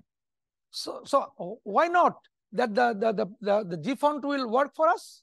If we have sort of MOUs, then of course you can work for me, I can work for you, so we can work for us work together. So that is one of the point. Uh, we can help each other. And then, uh, uh, then cooperation in between the trade unions to trade union. Uh, even some of the receiving country, even the Middle Eastern countries, uh, some of the countries we have our trade union, like Jordan, uh, like uh, uh, uh, no, no, not Kuwait, Lebanon, and some other countries, we have our trade union, you know, colleagues, friends, organizations. Malaysia, Singapore, so we can sort of, you know, mutual understanding in between the trade unions, trade union to trade union. So these are the areas that we can work together. We have some spaces, some rooms that we can think for. We can work together. And then uh, what might each country contribute uh, the collaboration? I think this is also, there are many things that we can also collaboratively work. But again, uh, we have, we can exchange our experiences because Bangladesh have sort of peculiar experiences.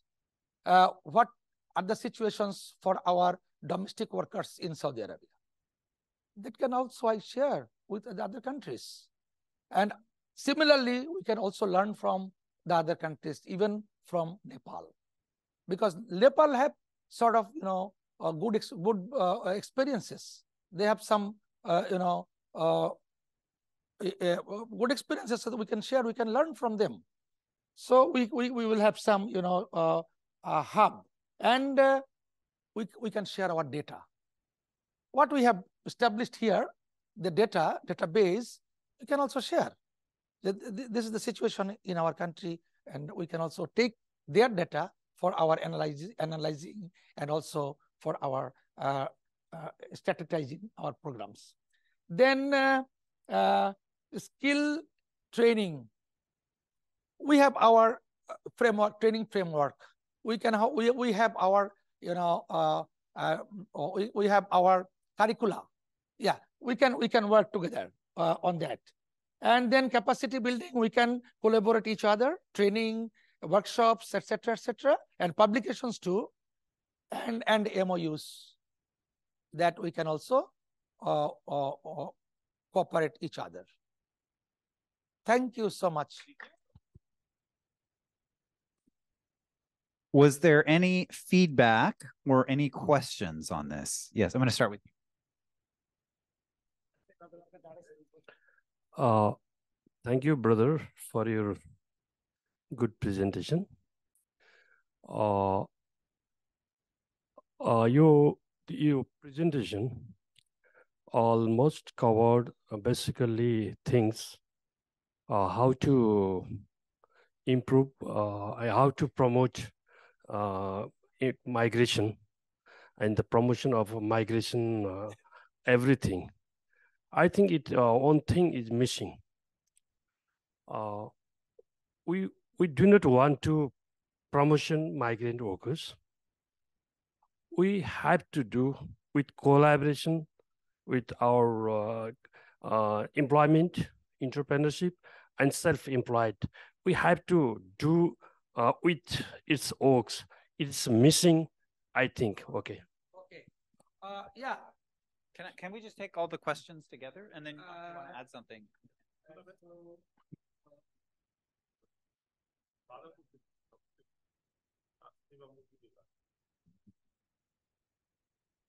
Uh, uh, thank you. Uh, you have uh, already uh, covered many things.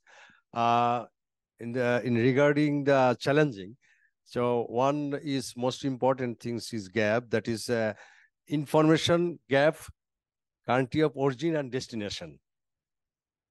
Uh, another things is uh, we can uh, uh, share other countries uh, like Nepal. just last month, we have visited the uh, Nepal. So they are only they are working for the those are going to abroad. How they have registered and how they help and if any complaint uh, anybody uh, from returning workers or uh, the, those are going to the abroad. So how they handling the case, the disputed case, and some shelter center. We have also visited some shelter centers, so we can share this also. Thank you. Okay. Okay. Okay. Oh, sure.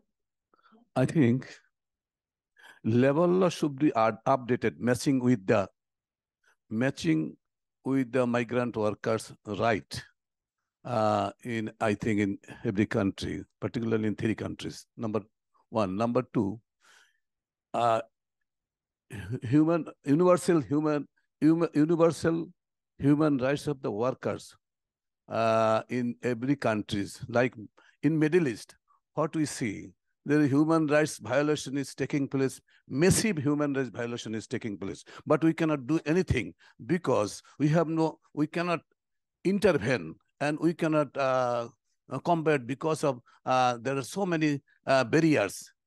Uh, what you have also mentioned in the in your report. That's why uh, we have to penetrate, we have to intervene, we have to facilitate to intervene. That that law should be facilitated. Hmm, okay. when we talk about migration issue, most of the people take GEFONT's name. First, I want to uh, add there about the ILS, about migration. Can't we work together what uh, ILO is mentioned for ILO standard, standards? Because on migration, they have very, I mean, progressive standards prepared. Second one is uh, for GEFONT's story, we have one slogan made some 20 years back. There is wherever uh, workers, there are there is different. When our workers are migrated, then we, we had to uh, meet them and organize them. We started. We did it together with other member, I mean, friend trade unions in destination countries. And where trade union uh, union is not there, we, we seek behind ILO. In Qatar, we did it. And this year, we won Alternative World Cup. When Messi was grabbing his World Cup, we were also grabbing. Our World Cup was for our works done in Qatar to protect the right of rights of workers there. And now we have SSF, start, I mean, social security started for migrant workers. And so uh, uh, we have uh, we we say GSG, different support groups in the, those countries. GSG works in line with their own rules and regulations, and they join. In some countries, they have started to get membership from the destination countries, big trade unions, and uh, this year uh, Malaysia is also starting to do this.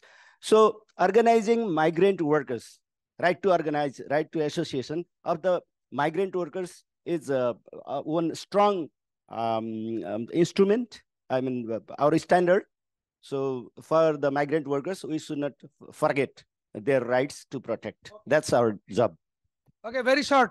Because some of our colleagues are ready with sneakers and everything just to go out. And they they will have to contribute something for the economy of Thailand. Okay, let me finish in two minutes.